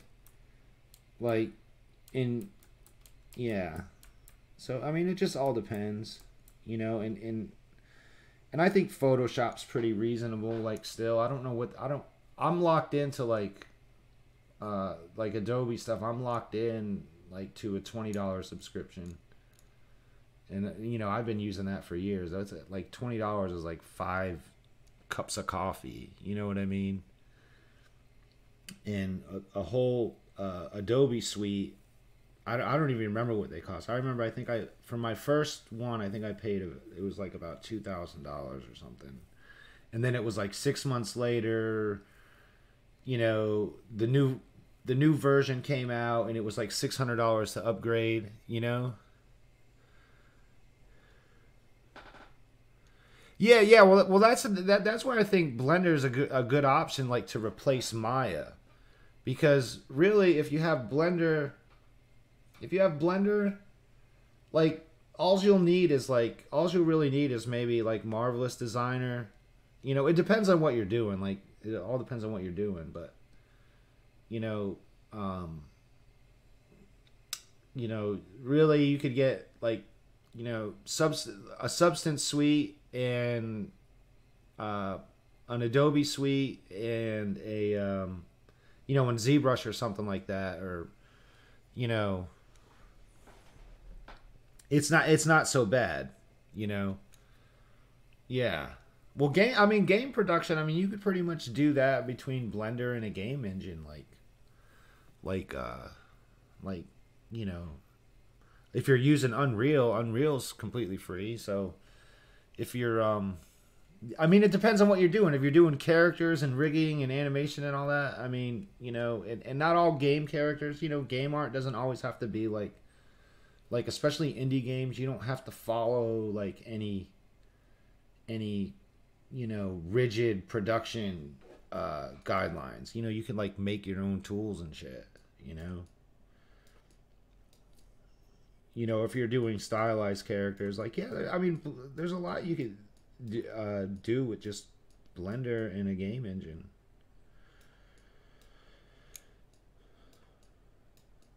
Um, but like characters, if you really want to get deep into character art and that's like all you want to do, then like, um, you know, uh, ZBrush is, is is probably, you know, the strongest tool in that in that focus.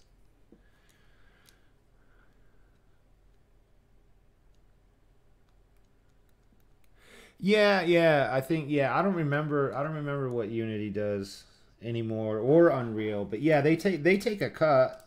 You know. Um, yeah. They take a cut. I don't know what. I, I know they they both take a cut, like both Unreal and Unity. I don't know what it is anymore. I think it's it's five percent on Unreal, right? Or is it more? Extrude. What the fuck am I doing? Um, extrude. Ah. What am I doing? Oh, extrude move. That's what I'm doing. And not that one. Edge loop. There we go. Do one more edge loop on this.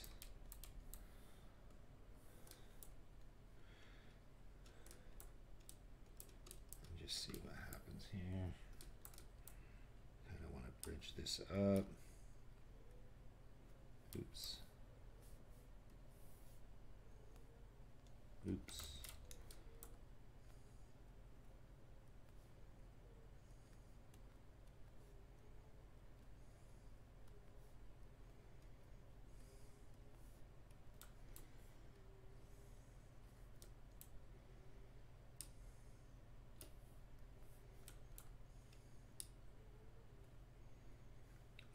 Move, move, move, move, move, move.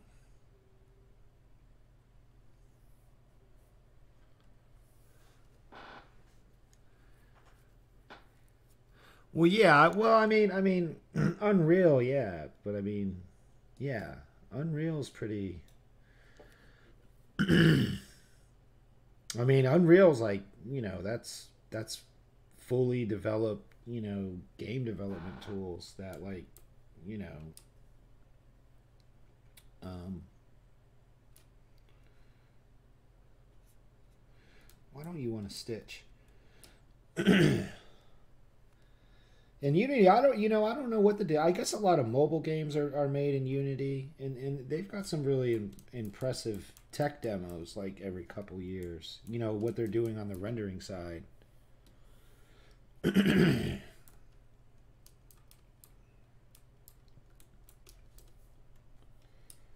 mean, I think eventually Unreal will even like replace a lot of like uh, rendering. You know, um, a lot of rendering that CG artists do, especially with especially with the uh, ray tracing functionality. You know. All right, let me run some dynamics. See what happens. I don't think this is going to go too well with this her dress. I should probably pull that up a bit.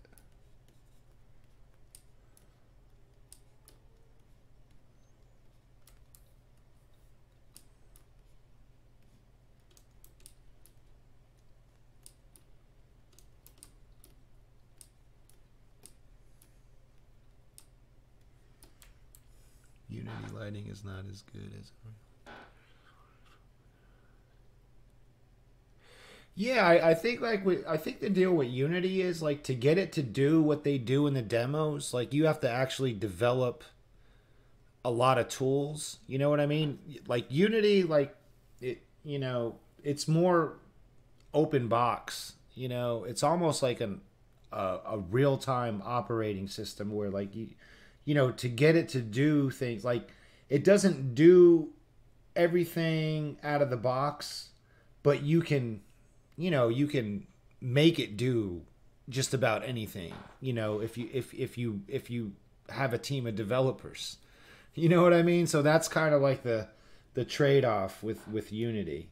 It's more accessible off you know off the gate but then if you really want to get in you know if you really want to get into something deeply like you pretty much either have to wait for somebody to write uh you know uh create a plug a plugin or whatever you know to to get that functionality. Like you know someone has to de- like it, yeah it's all developer driven. That that that that's where the you know that's when they um you know once they did once they went in the direction of the unity asset store that's like you know what it's all about is like that whole you know community is like its own ecosystem almost you know, his own e- ecosystem of, of development.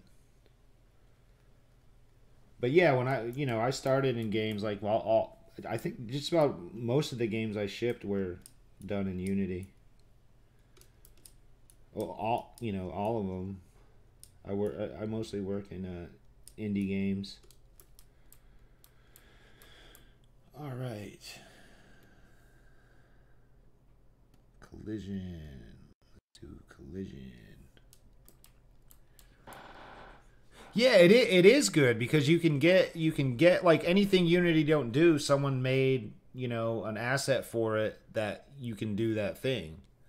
Where where I think with well Unreal is the same place. They have the same idea, but but the the, the core of their development is run by uh, Epic. You know they they they they you know you know it's it's it's it's pretty it's highly functional out of out of the box. But yeah the add-ons the add-ons are are the thing about unity. And and if you know and if you have if you have a, a good team of developers you know you can make unity do anything you know.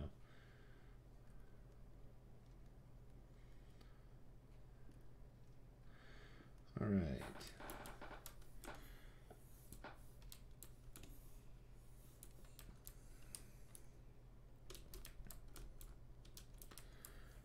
dynamics, recalculate, see what Liquify does.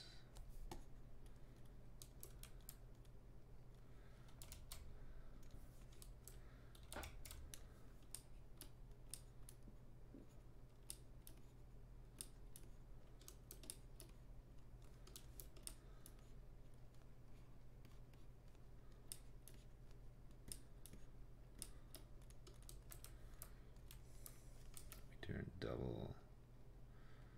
Double, double.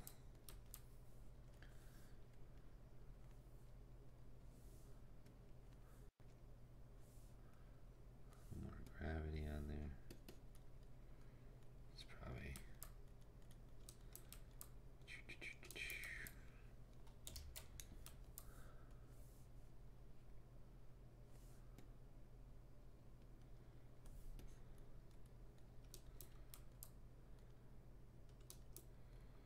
I guess that's fine for now. Lurk League rank game. I don't know what is that.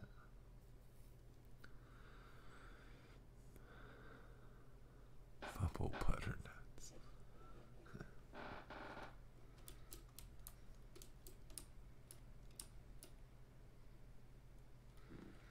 oh man, you know I've got to use the bathroom. I will be back in a few minutes.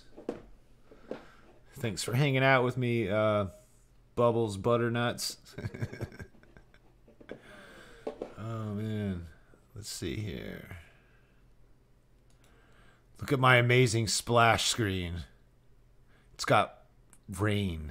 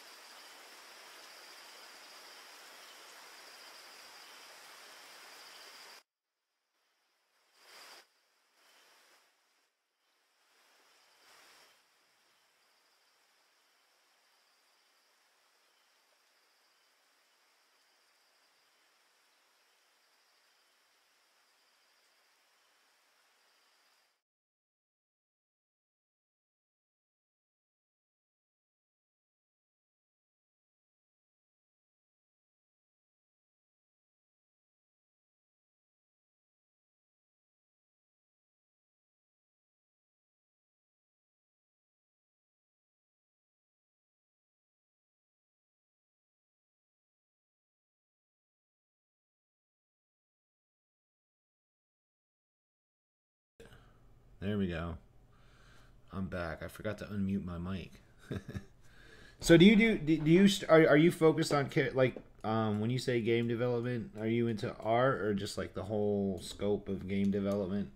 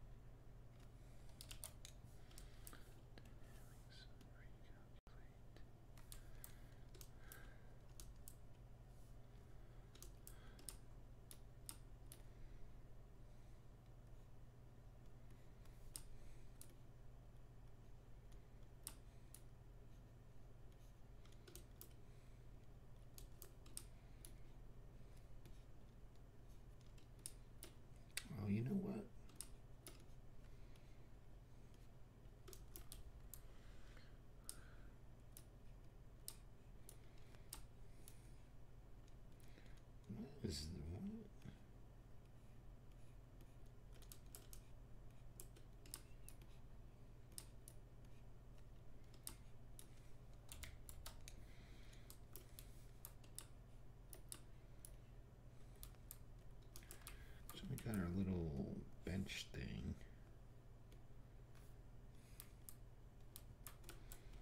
Can recalculate. Dynamic recalculate.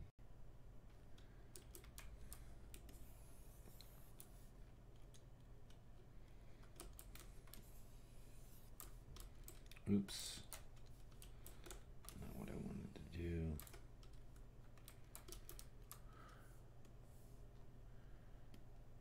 There we go.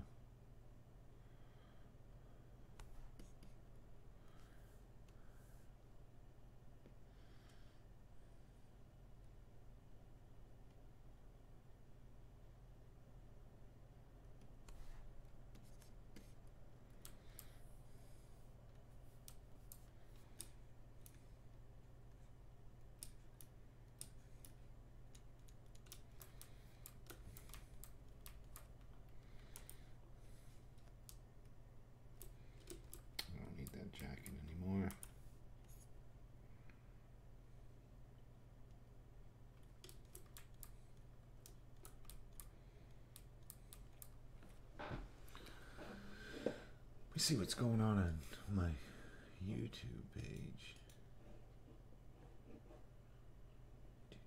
Do, do, do,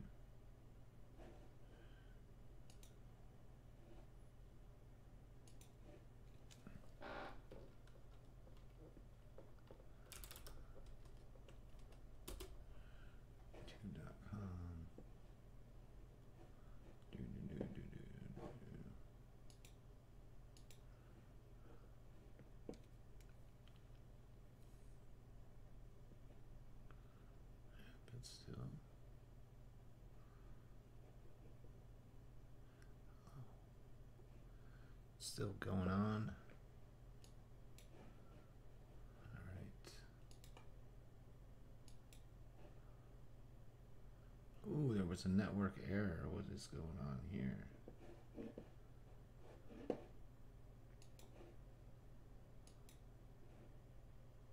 Shouldn't have a network error. Oh, okay, we're still on. on. Do do do do. So that's that. I guess I could put a light bulb in here.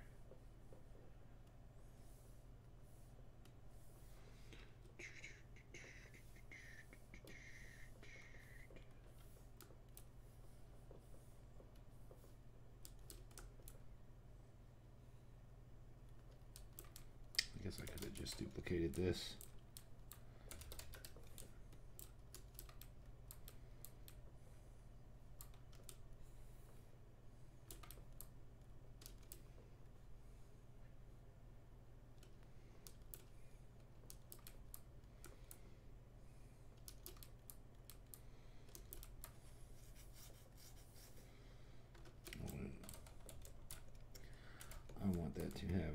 Its Groove.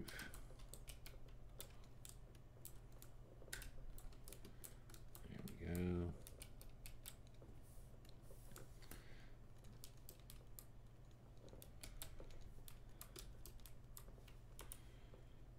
Get rid of, I don't need these knee bones anymore.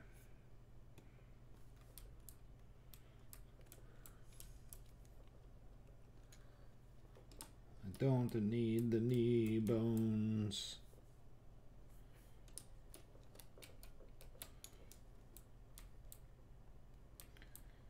Alright, so we kind of got a little something going there. Oops.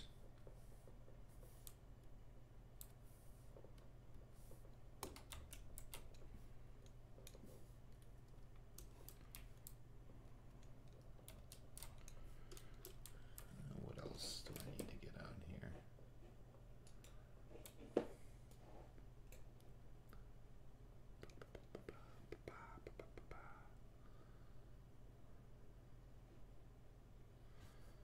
So, da-da, da-da, da-da.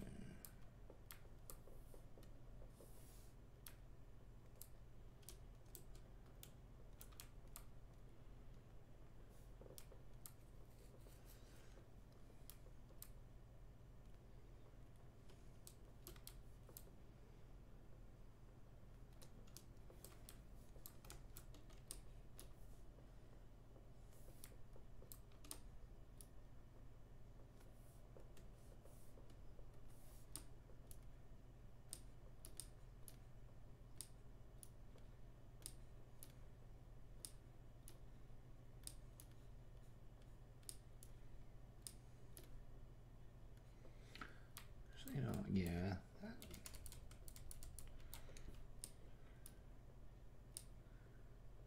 looks like it actually folds over like this.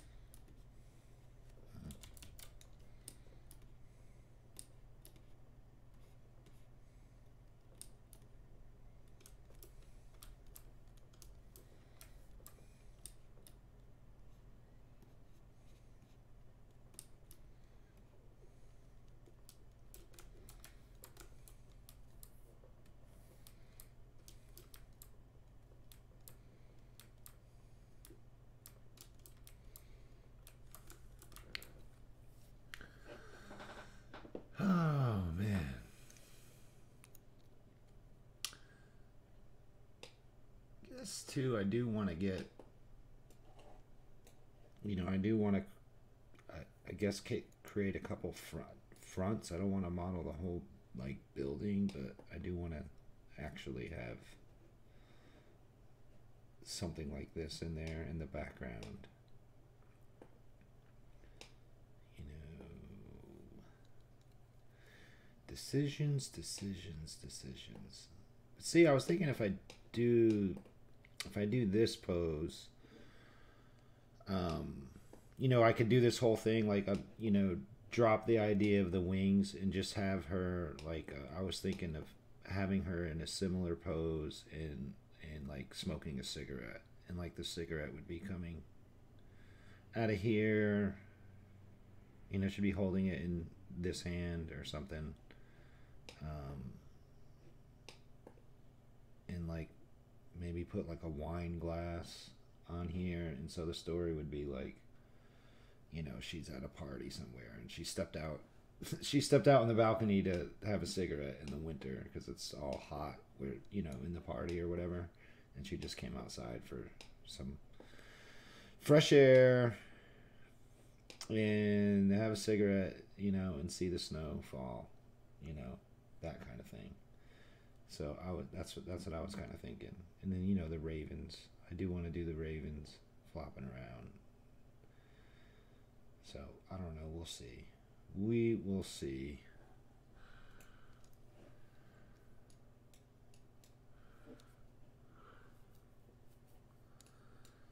We will see what the deal is.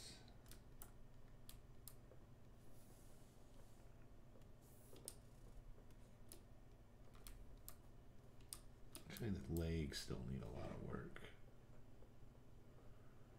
The legs.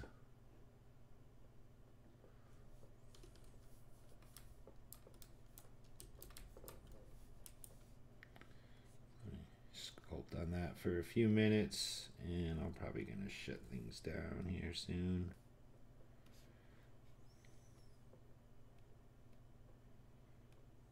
Oops.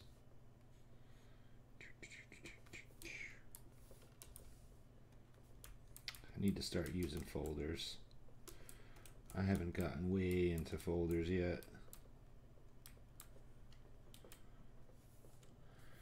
But it's on the list. I think it'll definitely be helpful with something like this.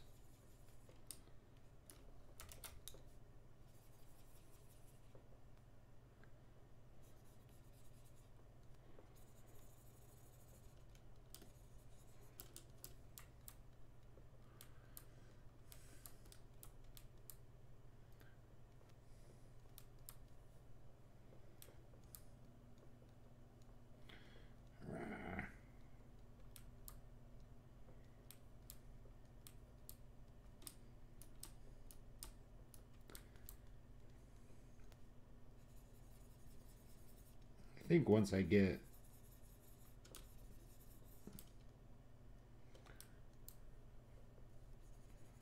once I kind of get the anatomy where it needs to be, I'll probably I'll probably go into the final pose.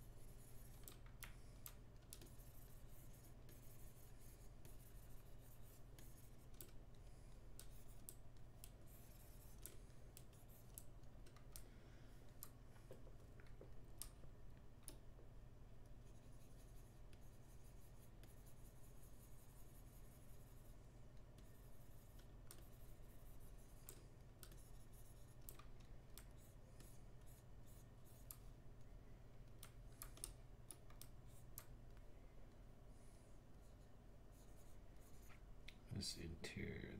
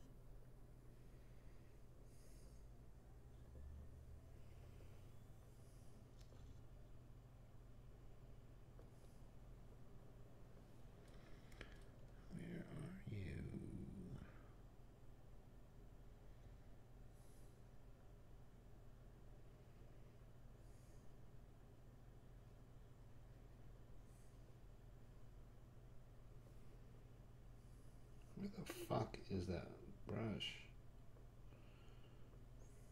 I don't think it was SK slash.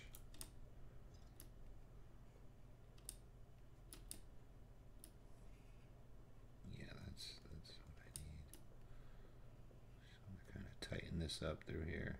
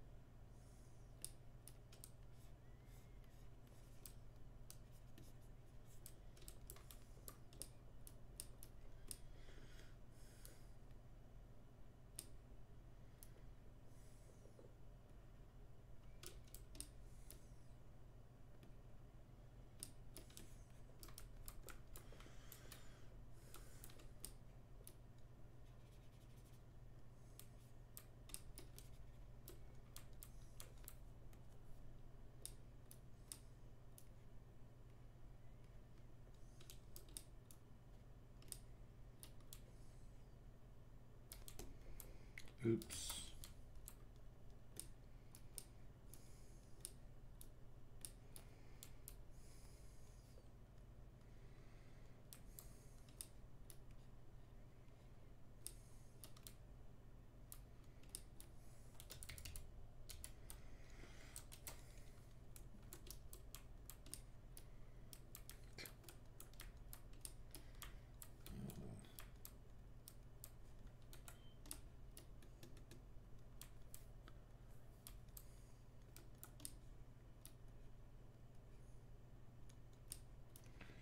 You gotta get some toes. Some toes at some point.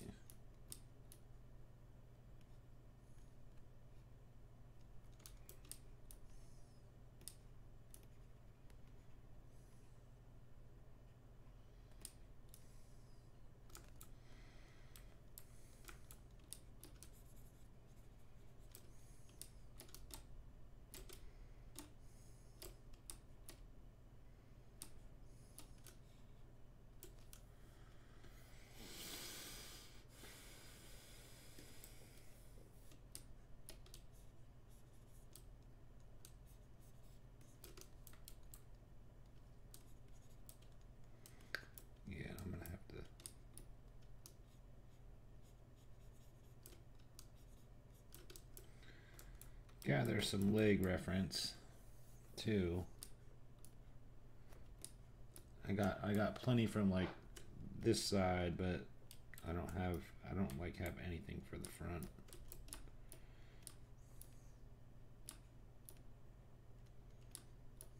So I don't feel like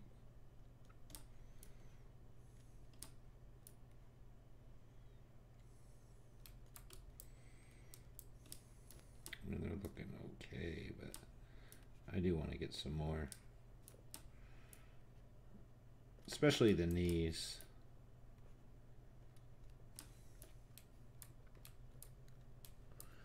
Especially the knees and the forearms and everything, really.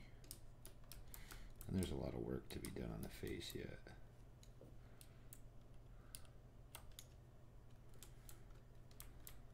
Yeah, see how it look how everything looks in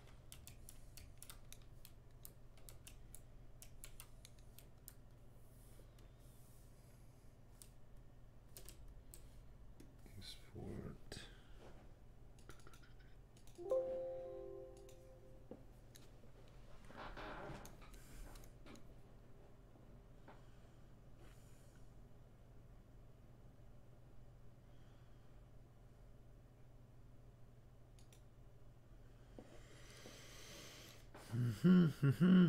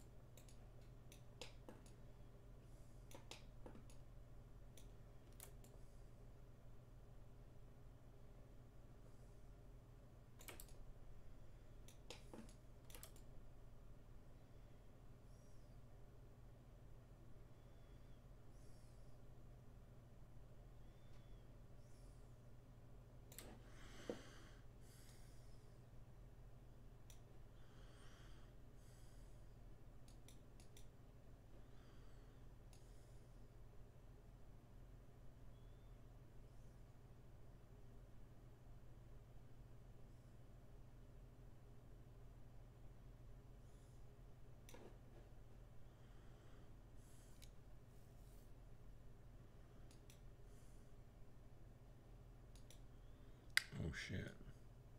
What did I do?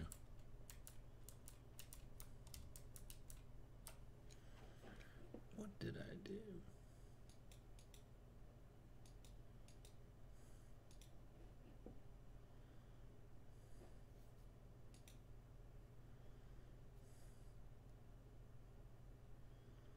Let's see.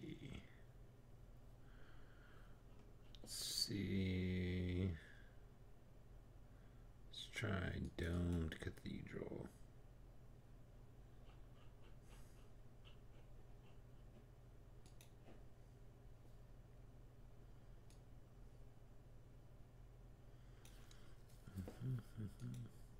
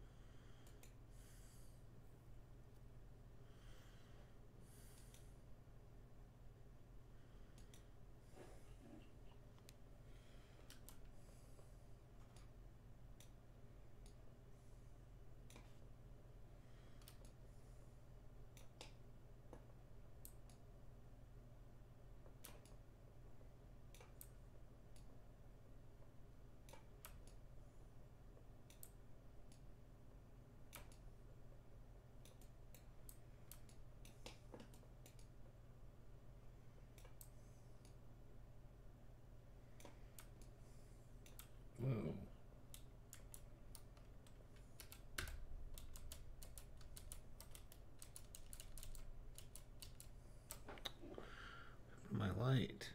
Oh, there it goes.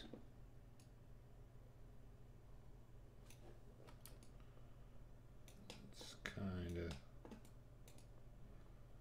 kind of, sort of. Could be happening.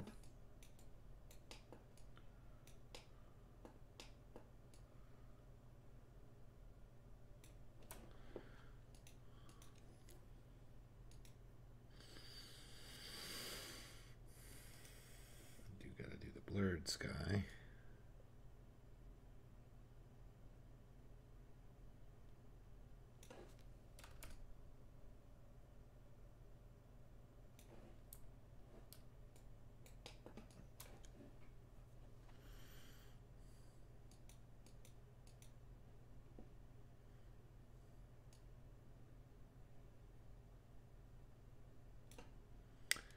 Do we still have visible shape?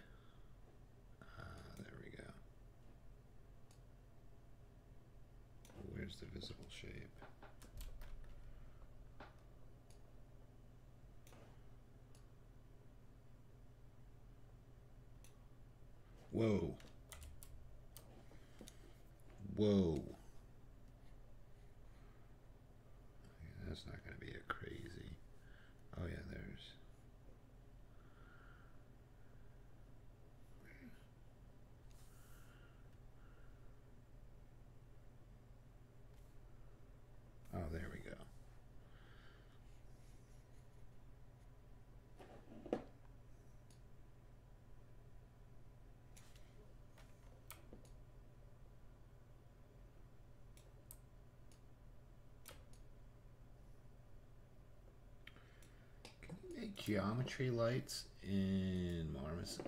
Is that possible?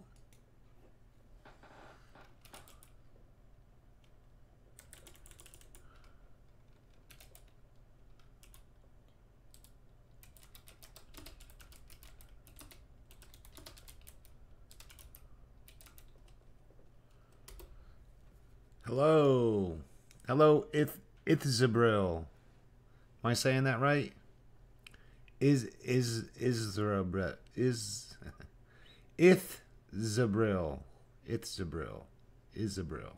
Or is it Isabril?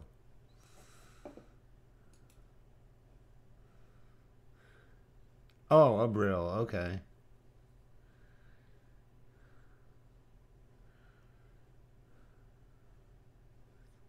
Yeah, sorry, sorry if I chopped up your name. Oh man, I am looking. hmm, here creation for a sorcerers, refraction, marmoset viewer. Do do do do do do do do do do do.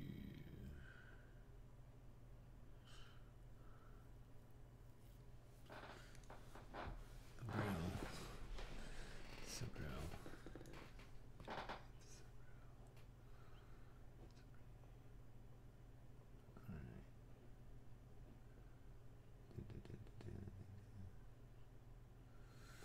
Let me go ahead and delete that. Delete these.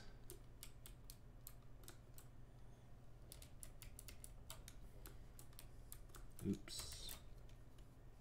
Oops.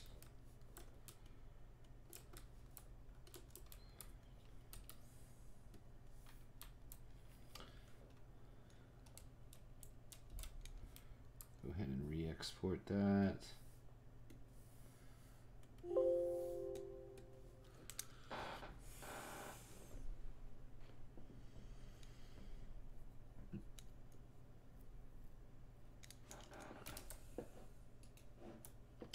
Yeah, I'm just I'm just uh messing around with some lighting, kind of doing some lighting look dev now.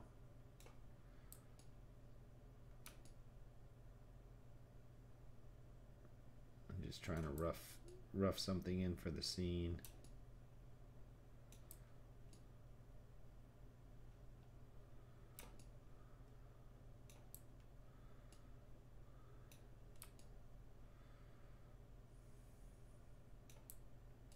There's still a long ways to go on the modeling and everything, you know, the pose. Textures, whole bunch of stuff. Still very early on right now. And we can change the color of this.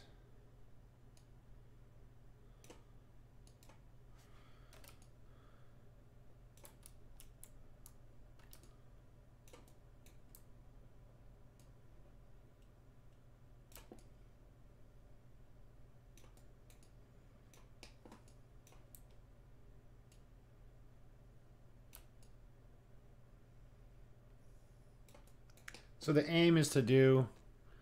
Um, my overall aim is to, you know, do something illustrative, and I don't know if you've seen the earlier videos, but um,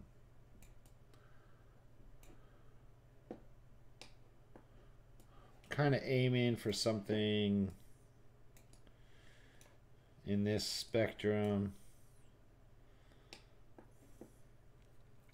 Uh, this is kind of this is kind of like the the central image uh, that I'm drawing from, and I kind of created not kind of and then I I photo bashed this together, but I don't know if I'm gonna go with the wings and everything, so uh, I'm still I'm still uh, thinking about it in terms of you know what the what I want the final image to look like.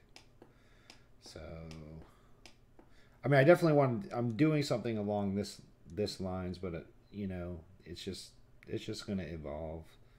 So that's why I'm I'm kind of keeping the character fairly simple. Um, you know, not not like a lot of armor and stuff. Uh, just trying to do something kind of simple and il- illustrative. But yeah, these images are by. Uh, these aren't my images, just just so you know. Like the these uh, reference images. This is by WLOP, and you can find their work on ArtStation by that name, and they, he does a lot of incredible illustrations. So yeah, and he and he's not even like a, uh, I guess he's a, or they're I don't know if it's a he or she. They're a um, programmer. They're actually like a computer engineer, and I think, you know, I don't know, if, and he does it, or they do illustrations. They do, uh, yeah, does these amazing illustrations. Anyway, that was that was that was the that's the source of the image, and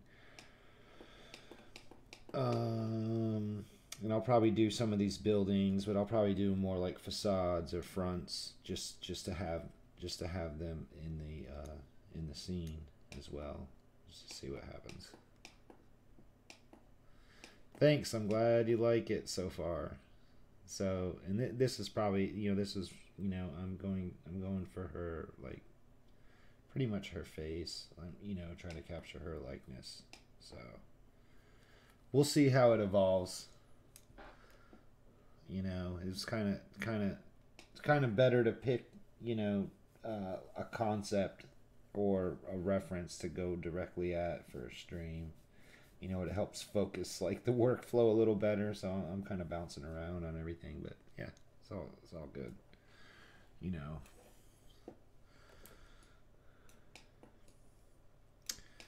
So, and I'm also thinking, you know, since this is like a balcony, there's definitely going to be, there would be a window over here somewhere. So I probably want to get some kind of light.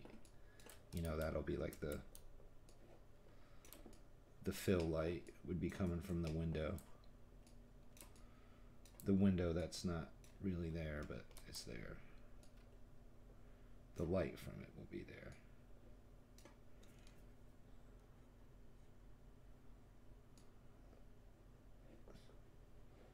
Oh my god.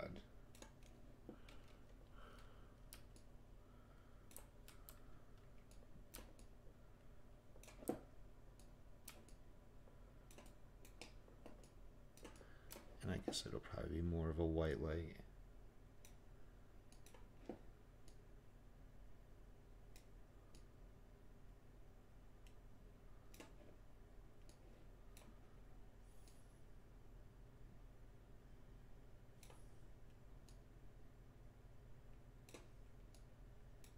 Maybe blue.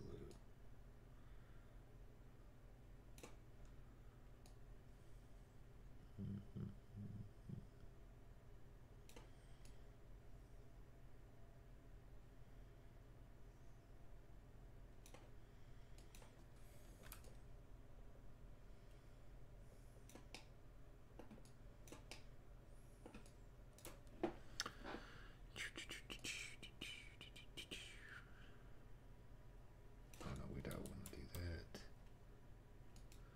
Like as I create these lights, um, I do create them on the sky just to get them in there. Uh, but I do um, pull them out of the skybox and just I'll eventually have them in their own folder. I mean, you could lock them, but I just pull them out, especially if I change them to like a directional or area light or something. Um, let me see. Let me make that Omni. Are these all? That's an Omni. That should be an Omni. That should be an Omni. Oh no, I do want to keep that skylight in there. Never mind. I do want to have. Uh, let me see. No, no, no. That's wrong. Okay, this is this is. That's my front light. Okay. And we'll call this fill. Better name these.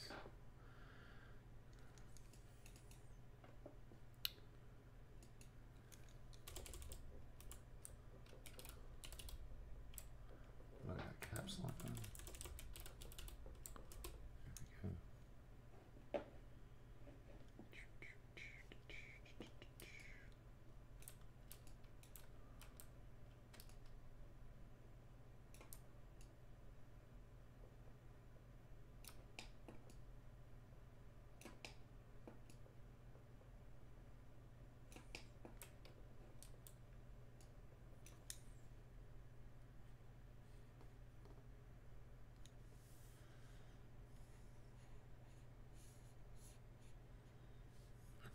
There we go. Visible.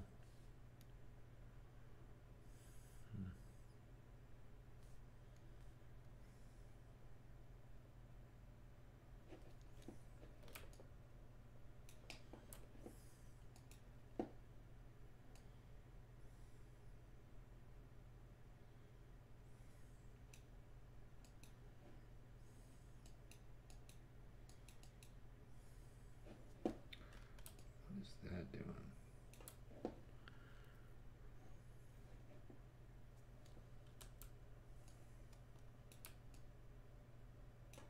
Okay, that's that light.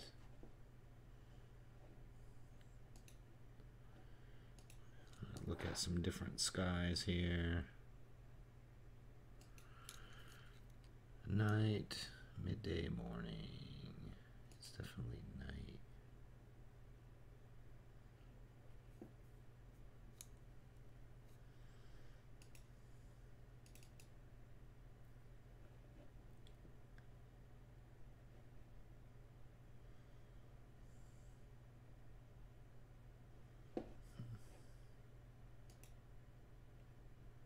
Oh, it's downloading.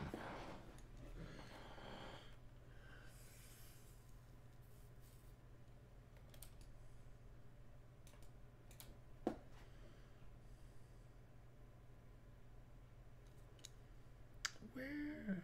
Let's see. Did it load? Oh.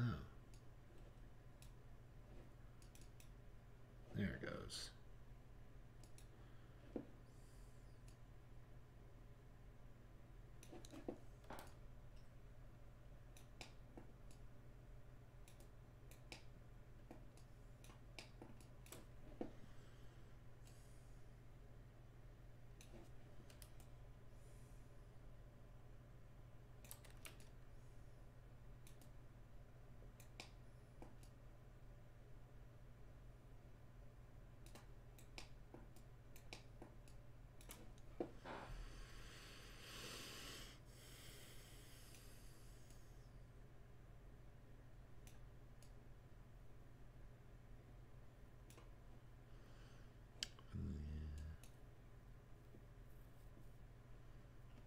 Keep looking through here.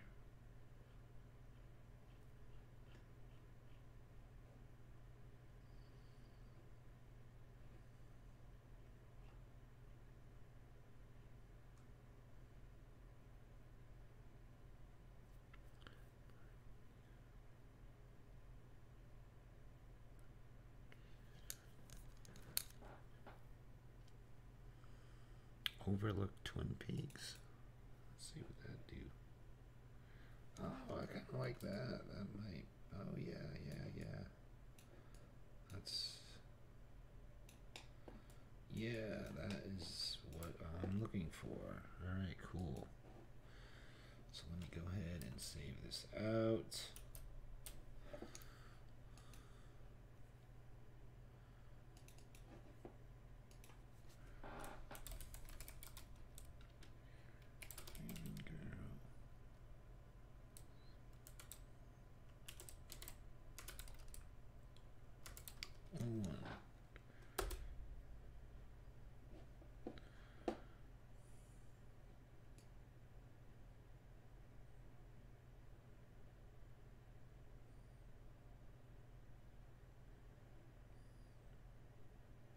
Yeah, because I really needed something where the light was coming from the bottom. So I think this is, this should work out.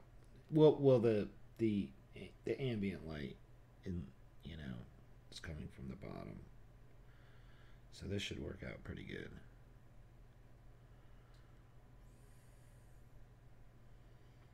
We could have the moon too. We could have the moon. So yeah, I'll be coming back. I'll be coming back to this. All right.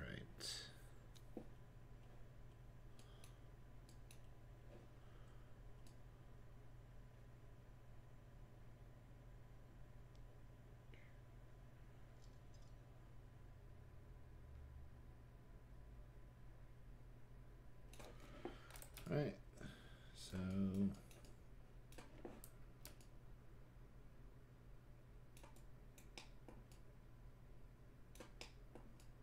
gonna that is gonna be it for now. Go ahead and save that. Close it out.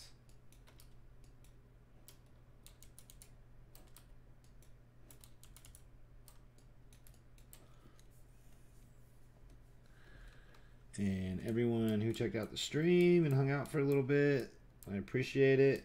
Um, I'm probably gonna come back on tomorrow. Um, yeah, I'll be back on tomorrow, sometime in the late afternoon. So uh, if you're subscribed, you'll get the notification.